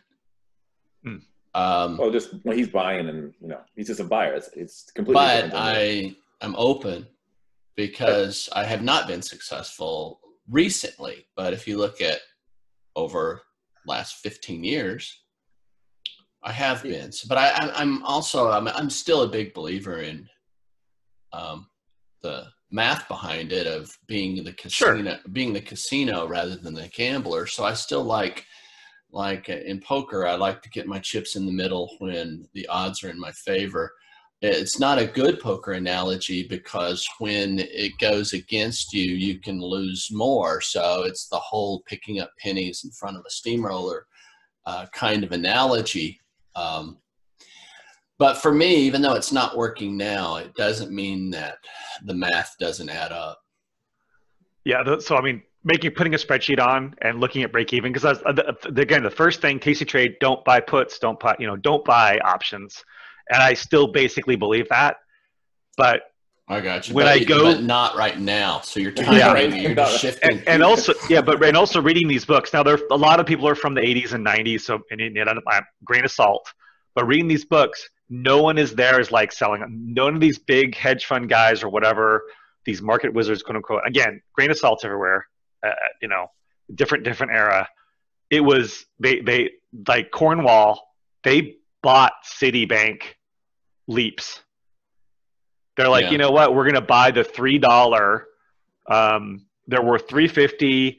Uh, the forty five calls on a leap, and lo and behold, Citibank blew. You know, went to fifty or something, and they had like these these or sixty or seventy or something like that, and they um, you know that those three dollar put the three dollar calls are suddenly worth thirty, right, or forty or fifty or sixty or whatever, and so that and again, I totally believe that we're we're going to crash and or go down, even if it takes months for this to realize itself. I'll gladly pay a thousand bucks a month or a couple thousand bucks a month. because you're going to make a hundred grand. Tim, do Right? you read, do you read any of the stuff by the Black Swan guy? No, I don't don't even know about it. Nassim Nicholas Taleb? You know what a black swan is? Well, Black Swan is a yeah the the these like Black Swan event, right? Something catastrophic. Yeah, oh, I, I know what a black swan It's is. something catastrophic that we couldn't see coming, and uh, after we after it happens, it was obvious that it was going to happen. Yeah. Right. Um, Well, Bill Ackman, Bill Ackerman saw this, right? He's like, even went on TV, Yeah, and so I'm gonna start like, I'm gonna think I'm gonna start paying more like Muddy Waters. That's another one. Uh, Muddy Waters, and because all they do is research and they basically find shitty companies. Um, and then um, Bill Ackman, his his credit default swap he did um, on like in February. You know, his premiums are twenty seven million dollars a month, but he was right. So you, so you get a hypothesis about something that's going to move, right, up or down, or right.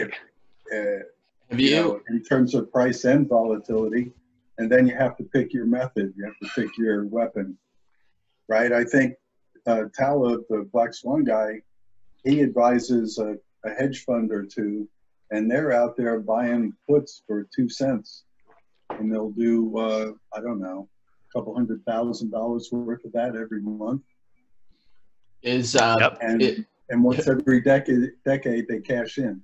Yep. who? What's the black swan guy's name? His last name is Taleb, T A L E B. so, so John, are you saying that it's working for them? I think it does. Um, 'Cause- you. Thank you. Um, you know, how much history is there? What's the EV? Do we have a good EV because there's, uh, you know, the law of large numbers? Has it kicked in because he's been doing it for 20 years monthly? Uh, who knows? Yeah, I had, a, a buddy that kind of just goes onto those, uh, tries to play those long term options, and, and he he was receiving criticism from from a couple of uh, of my other friends that and and this was a good I guess thought process that I put myself in. And I want to ask you guys is you know what kind of benchmark do you guys put yourself on? Because if it's the market, um, a, a lot of the times he didn't beat it, but it's just that that one time he did.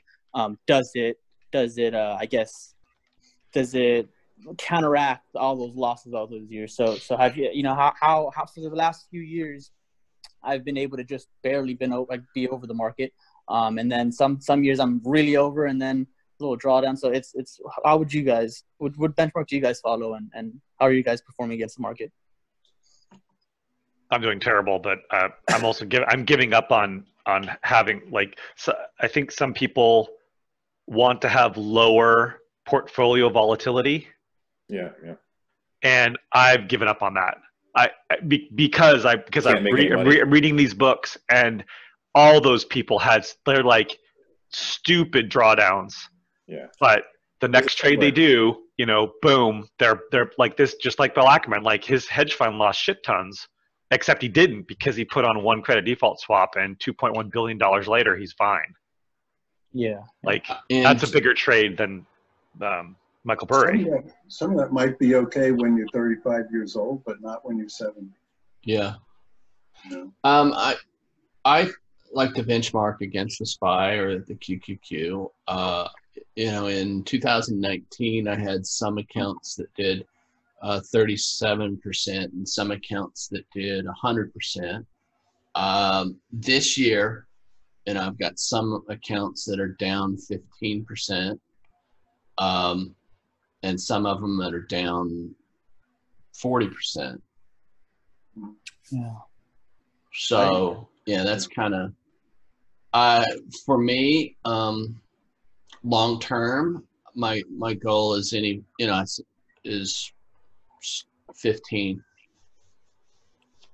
Yeah. Oh, so for me, my I, it's pretty interesting for me. I you know I'm I'm an options trader at heart, but apparently I'm I might be a better stock picker to be honest, because uh you know I, I have long stock holdings and mostly tech because I'm in tech right now, and you know those are basically saving me right now, and, and that's that's why I'm ahead of the market right now. It's most of my long stock holdings because my options trading has not been that good, but um, for me, I, don't honestly, I don't think. Um, I think the size of your account actually matters um, in terms of what you're benchmarking. Because if you have a ten thousand dollar account and you're doing forty percent, that's not the same in my mind as a two hundred thousand dollar account doing forty percent. Yeah. So like I, I think it matters to like if, if I'm if I'm trading you know a two hundred thousand dollar account, you know I- I'll be happy just beating the S and P. Um, but if I'm trading a, a twenty thousand dollar account or a ten thousand dollar account, then you know you you, want to kind of double that if you can, right? But you're not going to try to double. I mean, you could, but I don't think a lot of people are trying to double two three hundred thousand dollar accounts with you know I usually I usually don't tell people my goals because they think it's ridiculous. My goal is five percent without breaking a sweat. yeah no I, I that makes yeah, sense. yeah. I, I've thought of that sometimes. I've actually thought of that, John, on doing that with my some of my accounts but without breaking a sweat. And that's actually the interesting part about it is how how much can I make by doing very little? That's that's the answer. That's the question I was asking myself a lot. Absolutely, yeah.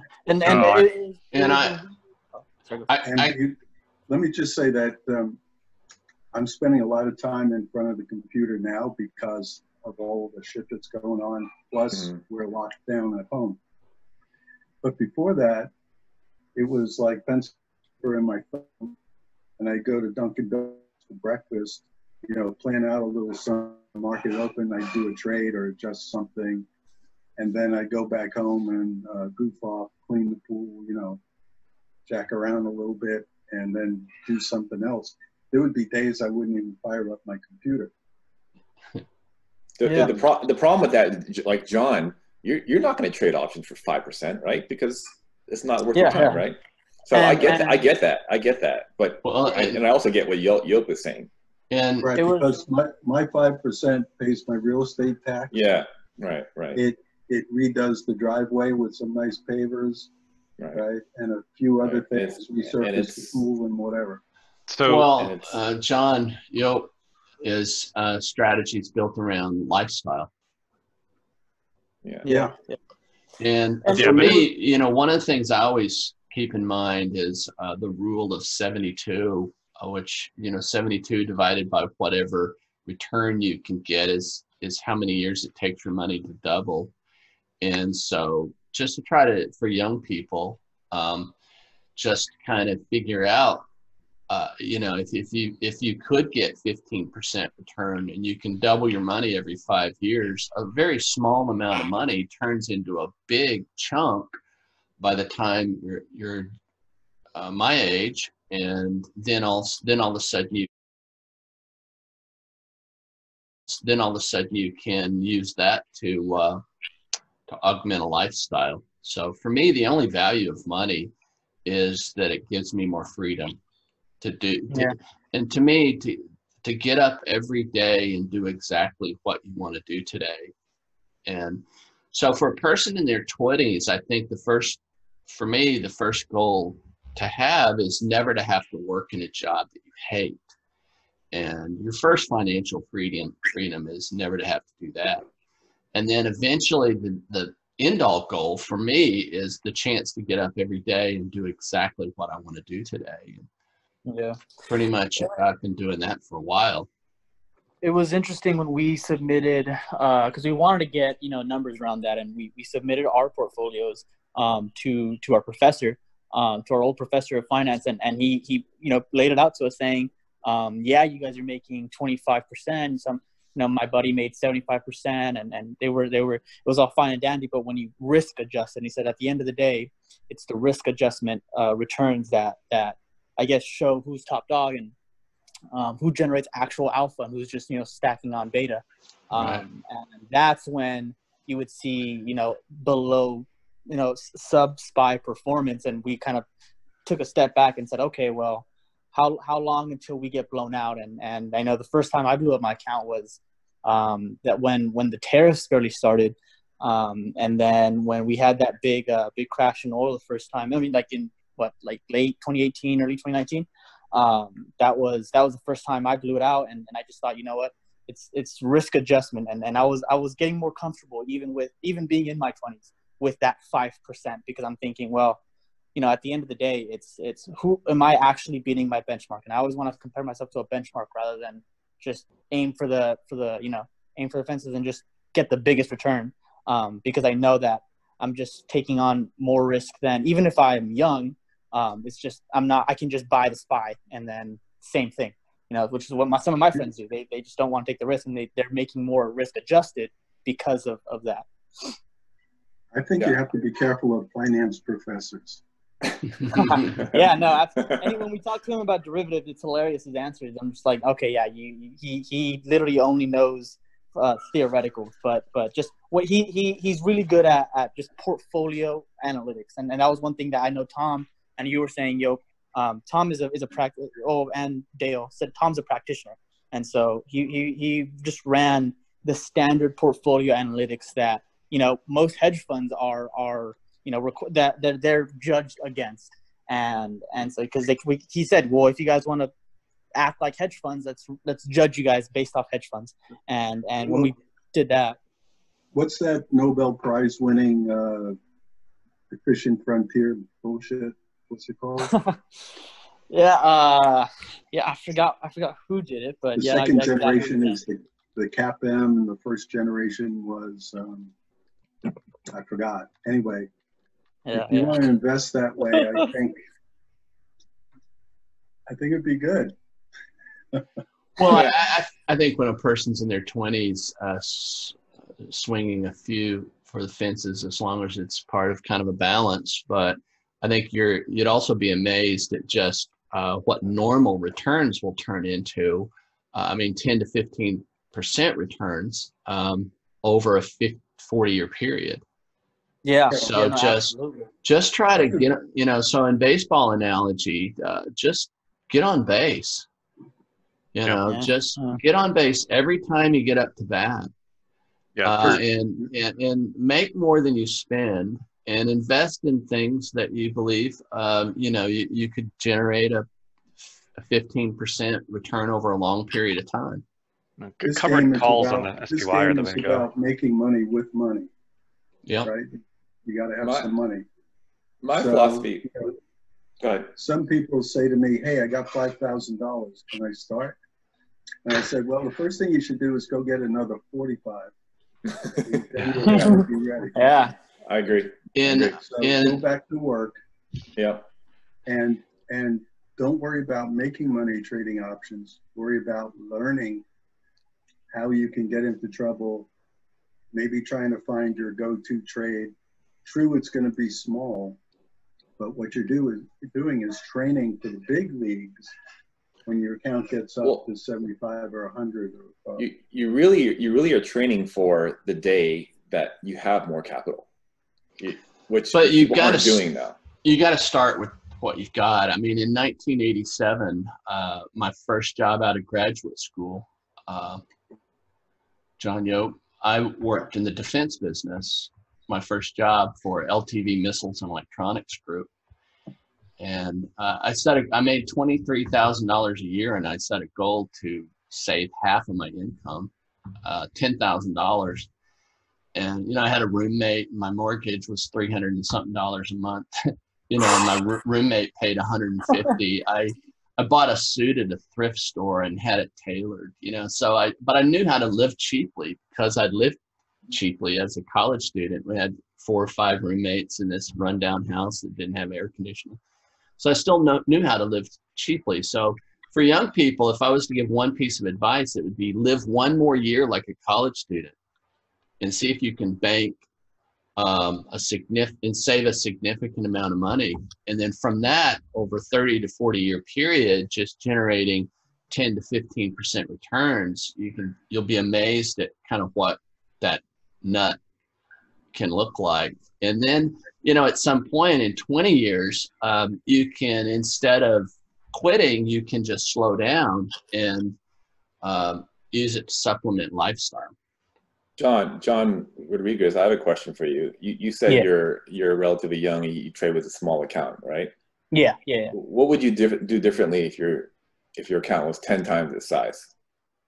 Well, I mean, first it, it- it would just be, I guess, subscribing a bit more to the strategies that that I hear uh, most bigger accounts use. You know, covered calls is just I, I keep on hearing that they're they're a lot of my uh, friends that have larger accounts. They just that's just a, I always have a core position of covered calls on, on big indexes, and and they they mess around with with other I guess underlyings, and it's just the, the larger pool of underlyings. I, I mess around with larger pools of underlyings that that are that give me more opportunities at bat. And and I think that's some of the problems that I have right now is that I just I can't swing at bat as many times because you know I, am going to be putting in 10, 15, 20 percent of my my portfolio and you know a trade that I say I I, I look at I'm just like well this this looks you know really enticing um, but it's just it's too big. Well, what trade is that? Well, I mean, any single time like I want to go into like uh, almost anything he wants to. Yeah, because I'm from uh-huh. I'm I'm around five to ten. So think of my account from five to ten. Um, for and then any single time I hear you know portfolio allocation when the VIX is low should be 20, 30, 40 percent. I'm thinking, well, yeah. I can't even trade. I can't even trade anything naked with uh with thirty percent of my portfolio. You know. Okay, so if you're you're at ten or twenty, right?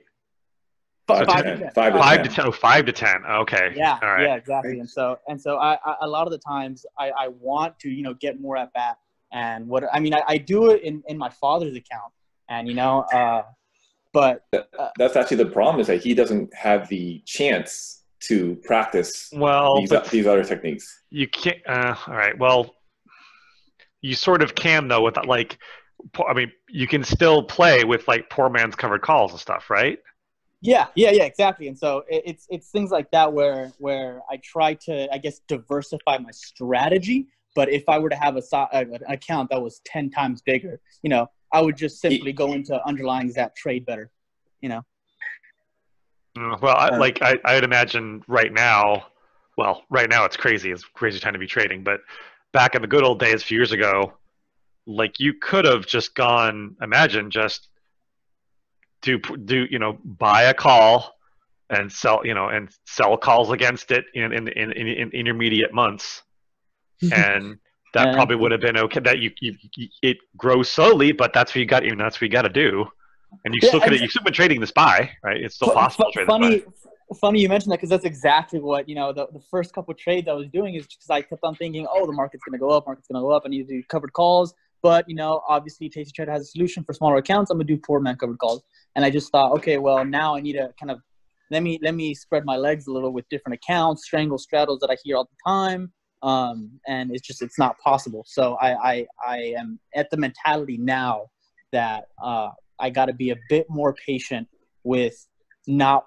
blowing up my account just because I want to practice. You know, right? Um, so because that's what I hear from everybody. Say, oh, just stay at bat, stay at bat, and, and I think, well, I'm gonna, i have I've blown up my account where I have to just stick to fundamentals that I know work, like poor man covered calls. well, I, yeah, I started at ten a couple years ago, like three, or four years ago, and um, even at ten, there are there are like strangles and things you can actually not strangles, sorry, iron condors that will work. And the the one yeah. of the main things that Tasty Trade taught me was how to defend the like yeah. you know roll the you can treat it as a strangle like basically still treat it as a strangle sure so you can still like even though it changes your buying power like originally buying power was the, the king i felt like I, oh my god i totally managed my buying power that just meant i had too many things on but heck you you if you treat it more as a naked position and say okay i'm going to you know roll down this call because my my puts at break even or whatever like that's super helpful a skill to learn. And also get you know spend 50 bucks or whatever in a in a put in a tasty uh, a think thinkorswim account just so you can have access to paper trading and all that stuff and just paper trade 100k account. And that's oh, yeah, what i yeah, did. yeah that that's that that was that that's exactly you know exactly what what i've been doing I, i've had my thinkorswim account since i don't know maybe 2015 14 um, and that's what i started with and i realized well, paper trading can I, I become a big head honcho when I paper trade, you know, and it's not realistic. And and I, I, I said um, I got to actually put my money behind it because then my real emotions are gonna are gonna I guess yeah. play out. And, right. and, and paper trading can only get you so far, in my opinion. But I definitely uh, agree. Um, I would go. I go nuts, and I go. I go. I do. I do like real trades, and I do crazy like YOLO. I'm gonna do yeah, this, yeah, and then because um, that's surprising, surprising number of those work out. But anyway, um, the the the other thing is like add money every month. I don't care if it's 25 bucks, but Oh yeah, yeah, ju- yeah, yeah. like I had the mentality originally was like, oh well, I have to, you know, this is all I can. I sold my car or something, or actually Volkswagen bought it back. I had a diesel, so they bought it back for me. I'm like, I'm going to start trading, and then I realized later, like, I should just be putting money in this every month. Yeah, yeah, yeah. The, the, I have, in, in terms of, of money management, I've, I've been pretty, you know, good at, at living still like a college student, even though I'm out and, and being able to, to add in um, those, those 5K, I've, I've, you know, those 5K that I put in this just this year. Um, I started last year with, with, you know, two, 3K. Um, so I've been really diligent with, you know, just adding in. Um, and Okay, well, so, you'll yeah, be at it- it- 25 before too long, and that's when things start are a Mhm. lot better. I think even at 25k, I think things really started to accelerate for me. Yeah. Well, yeah, yeah, John, John, there's always challenges, whatever your account size is, absolutely. right? There's always going to be challenges. So right now, battling challenges, and I think the value comes from thinking that through, coming to the community, talking to everybody, sorting through it all mentally, intellectually, and figuring it out, and then you move on to the next one. Yeah. It goes on forever.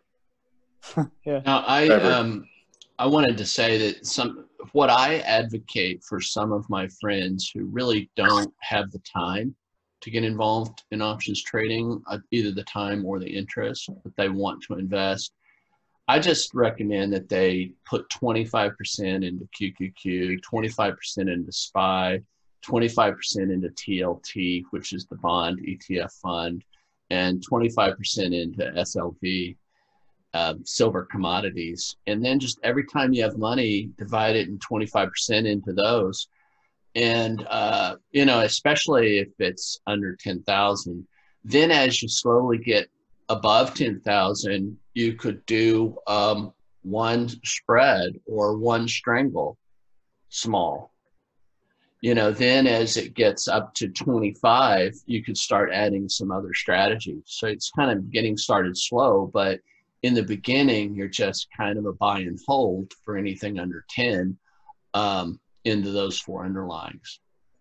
Yeah, no, you, you've you've uh, exactly described, I guess, pretty much to the T my uh, portfolio as of now since I don't know maybe February, just because uh, yeah, I kind of I'm I'm coming to the realization that uh, I can't be trading multiple times a week, and it's gonna be those you know one, two times, uh, you know three little opportunities that I see while just Yeah. maintaining a core a core position because I mean it's just gonna be you know split in SPY, split in GLD, split in TLT.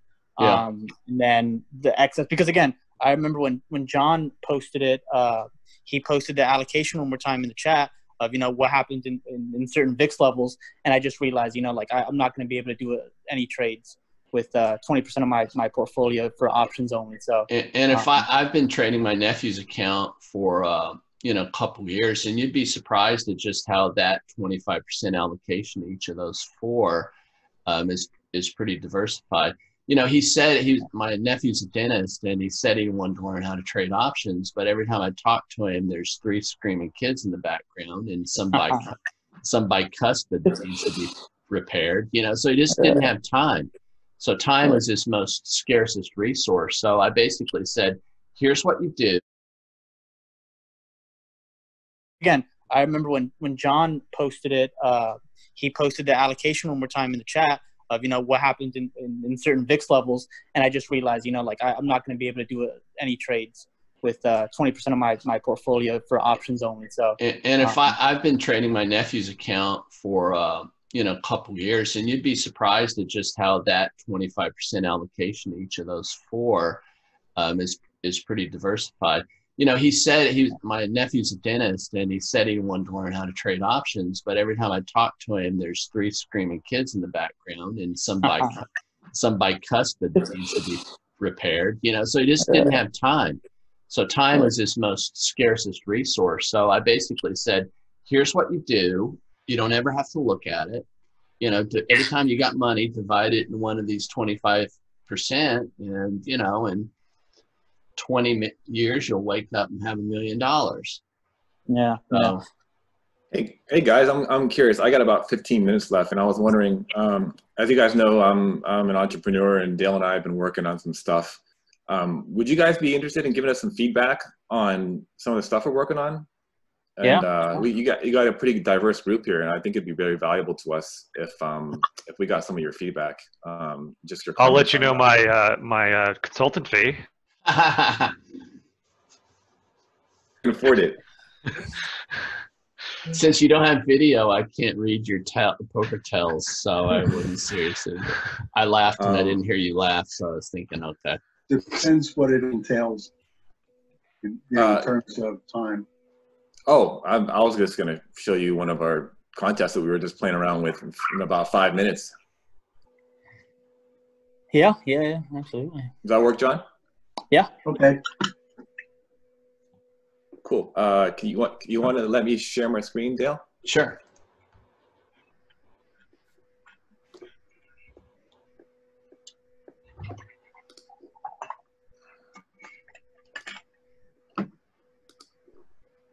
And while he's setting up, hot stock tip is uh, buy some cheap spy puts. I'll, let me tell you, that's that's that's that, that's what to do. If you can sp- spend a hundred bucks, you'll you'll thank me next month. I, And I, I'm I- wrong, I- I want to talk to you. I want to I want to have this discussion again in I don't know a month or two, and, and I want to hear. I want to have this. I want to revisit this because I think that's interesting. Yeah. Uh, can When you guys you- see my screen? When you make the the hundred X uh, return, Timothy, I really I'm expecting you to post this on uh, on Wall Street Bets. I need to see this. this No, no, work. no, that's that place is toxic. No, I'm not gonna do that. Ah, Oh, So can you guys share see my- see my screen? Yeah. Yeah. Trading Yep. boot camp. oh, okay. yeah. So this is what Dale was talking about. We were, we're actually we were we were having to do a contest because you know Dale's got a bunch of poker buddy player players and uh, we are trying to figure out how to way to have some fun and learn some new things. So we were we were running a contest basically um, with uh, options trading and um, here's the here's the current leader. Everyone got everyone everyone got 250k to start with, and the and basically um, the platform restricts restricts trade, so you have to basically be, uh, you know, fall under the the requirements of the trade. So you can't go in and say, I'm going to load up on PayPal calls more than, you know, 10% of your allocation. So we're trying we're trying to we're trying to simulate a real world scenario with restrictions to force people to learn how to trade a certain way without taking too Oh. much dramatic risk. And we, we're, we're building the rules around that and having contests for, for people to do that. the last contest, we ran three different contests. One was Mhm. you can only sell strangles. Another one, you can only buy long calls and puts. And the third one was, um, what was it, Mike? It was poor man covered calls and puts. Yeah, poor man's Um, covered calls and puts. the One was strangles, and one was just buying calls and puts. Long, yeah. And- And then the second contest we're running, you know, anything goes. And so a lot of these are kind of poker players. They didn't know a lot about option trading. And uh, my friend Mo was just YOLOing it. And, but he's, his timing has been good on on uh, buying puts and calls. And he's just kind of like almost day trading it. So he's currently the leader. I'm not sure any of the rest well, the, the the funny the funny thing is we wanted to make this contest realistic, like, but we we made a mistake in letting um, people buy basically a large portion of the portfolio in, in puts and calls, and then we, we knew right away that people were going to buy puts and calls, and, the, and those were going to be the winners if they they hit it right. So this guy, he's basically um, he's basically turned his his 250 into 1.2. into Yeah, 1.2 yeah, million. but- but- Do, when did this start? Oh, Uh, we've started. We're in uh, what day 15 or 16. day 15 and we got about 30 days left And Okay, he, well- he basically just caught that up move Right. Okay. Right. But so that's the that's like that the, the in in in hindsight I should have done the same thing and I'm gonna Yeah, need, to be, need to wake up and wake up to these things. So why is that why is that not invalid? Like no, or no, you saying it it- is invalid. We're, we're not saying it's invalid. I would Okay. say it's it works a low uh, percentage of the time. And if you're right, you know this is what you'll experience. And you know, well and, and basically my, my question for you guys is do you feel and and, and john I'm, you know john in particular yoke because he mentioned the coaching thing do you feel contests with certain restrictions and focuses on certain strategies could be educational Yeah, I Um, the other John, um, definitely. Yeah, yeah. Uh, the other John, you know, I, I definitely feel the restrictions is going to be the key part because any single time we ran, you know, these paper Contest, trading yep. contests, Yep. it would just be the the the one kid that went on Yep. Reddit that found exactly the one short stock and short squeeze and wrote it up. So, um, especially especially risk adjusted uh, uh, uh, restrictions in terms of sizing, in terms of allocation, because you know now yes they they'll do that in, in, in their portfolio as paper trading, but would they do that in a real Right. scenario? Yeah. That's Right. just it's, So it- we're trying to we're trying to force people in trading in a, in a more realistic way to force them to learn in a more realistic way. yeah yeah Yeah, and and uh, the guy that's winning actually d- would trade it in his real account, but we've also watched him blow his real account up um, multiple times. So it's our goal to kind of create contests that contribute to education, and we're still trying to figure out ways to set up set that up so that education is the uh, the top criteria. Uh, so one of the comments I have is that, like, understand, like, I don't know if I want to be constrained, but I certainly want to have a, um, to know all the, like, there's a bunch of different strategies, you know, like back ratio or this, like, there's so Mhm. many terms that got thrown at me and all the ideas and, um, of, of how to, like, it's like it, I, I know, it kind of blew me away like oh yeah of course you can sell a put and then uh, and against it you put a call spread and you know and then there's jade you know the jade lizard the jade lizard is born and if you do it just right but but but then eventually to be to be uh, when when you have that entire tool toolbox is when things really take off i don't know if Yeah. just being restricted to just all you can do is poor man's covered calls i'd be like eh I, I would I would feel well I, as more Well, experienced that trader would, that would that would be one contest. Like, okay, we're this contest we're going to learn about poor man covered calls. This contest Hmm. we're going to trade strangles. This contest is free for all. You know. And uh, you know, for people like Mo that aren't really interested in learning, they just want to gamble it up. They may not. They may say, "Well, I don't want to play in this contest." Well, that's okay. maybe a different i was thinking trying to think of a different metric like number of trades number, like so number because if i think a, a good thing is to talk about special options is the and tasty trade says all the time number of occurrences so if there's like like one Yeah. trade and you know you knock it out of the park on that one trade well that should have less weight than the guy who Right. did So you know 50 trades and made the same or so or, we're, we're uh, trying to come. We're trying to do stuff like that. Like trades is here. You see that trades, and then we have allocate allocated. So we believe that if you stay allocated 30, 50 percent, then you're trading in a. You're forced to trade basically instead of just you know Sitting on it. sitting on maybe a profit and just waiting.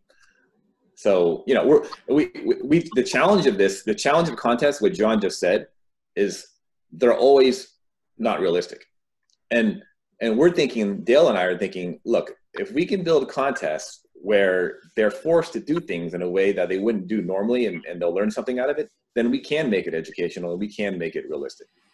It's kind of like a video game that teaches life skills, and that's kind of what I'm going for. So the, are you yet? requesting, um, are you, so what's the request? That we participate in this and, and give No. feedback on our experience or is it more than No, that? no, there's there's no request. We're just looking looking for your feedback right now on what you what you're looking at. Um, I would almost like to see a uh, like a fa- almost like or a fake stock market or something, or just like pull pull data for some random year, you know, some random year, random month, and then or or, or swap symbols or make up symbols or something, but maybe drive them with a real data. That way, people can't look. You know, like they have to. That would well, I guess that that's teaching more of a. Uh, that wouldn't be fun. The fundamental traders would, wouldn't be able to get anything out of that. What what what would that what, or what problem are you trying to solve? Well, then it's because then you could detach it from current events and other things like that. Maybe they, they'd have to just be like, you know, hey, if you do 50 trades, your probability is this, and it works out if that's what you want to teach. I don't know. I'm, I'm spitballing. So Several of these people have also uh, linked their real account so that we can collaborate and offer ideas and uh, you know, we're building something that we could eventually use as uh, as a platform for um, mentoring and offering ID, trade ideas, etc. And when John mentioned earlier, he was talking about coaching. Is is kind of the to be honest, is kind of the problem we're trying to solve. Is that um, we we actually agree with that uh, that that people don't have coaches and they don't have the ability to to get like in the right direction when they first start trading. So. Um, you know, we're trying to build a platform for, for you know, coaching, education, and you know, collaboration. So Yeah, but our purpose today really wasn't to uh, spend much time on this, but just to kind of get together and, and connect and get to know you guys. So m- uh, my goal is that this is just one of of many where we get together and chat it up, kind of a, almost a Tasty Nation therapy group, and learn from each other, right? Yeah, yeah, absolutely. So I think we've taken as long as we need to, but thank you guys for joining us uh, today, and let's do it again sometime. Does that sound good? Sounds Sure. perfect. Yeah, yeah. Okay. Um, I know I mentioned to you that a good time to pop up some of these chats could be uh, New York lunchtime. I don't know if that works for people because they have jobs and Okay. stuff like that, or whatever time uh, you know where the market seems like it's dead and it's going to be dead for a while, or Yeah. there's not much going on. And uh, so I just wanted to get a little feedback from that. What are people doing, you know, at noon Eastern? You know, I'm I'm always in front of my computer from when the market opens till the market ends. I mean, apart from doing a few projects around the house and a few work things, so I could make that work. Best times for me though is after the market closes at about 3:30 Central Time. Yeah, I still have a day job, so uh, nine. It'd be twelve. No, e- Eastern noon is when I start working at nine. Yeah. I mean, it could maybe get maybe maybe ten minutes I could spare or something or whatever, but it wou- wouldn't be a huge session. Um, but during the week, you know, week weekends, anything goes pretty much. Yeah, when the market closes, I usually move on to real world stuff. Gotcha. I could make uh, New York time 12 o'clock work. Uh, we might throw that at, out in Slack and see how many other people had some interest. And, you know, I, I think keeping it frequent and short is probably best. Yeah. And then it may be a rolling group, like different other people. We might have a core, and then other people might join us at other times. And then just- if we want, we could build it around some specific topic or specific agenda for discussion. Yeah, I would say try some pop ups to start. I'm surprised we got this many people on a Saturday afternoon. Yeah, me too. Yeah, yeah. yeah, Yeah. It's been, been good. But it was uh, it was real good to meet you guys, and uh, let's plan on doing it again. Yeah, thanks for setting it up. All right, thank Okay. you. You awesome. All right, bye, See you guys. guys. Bye.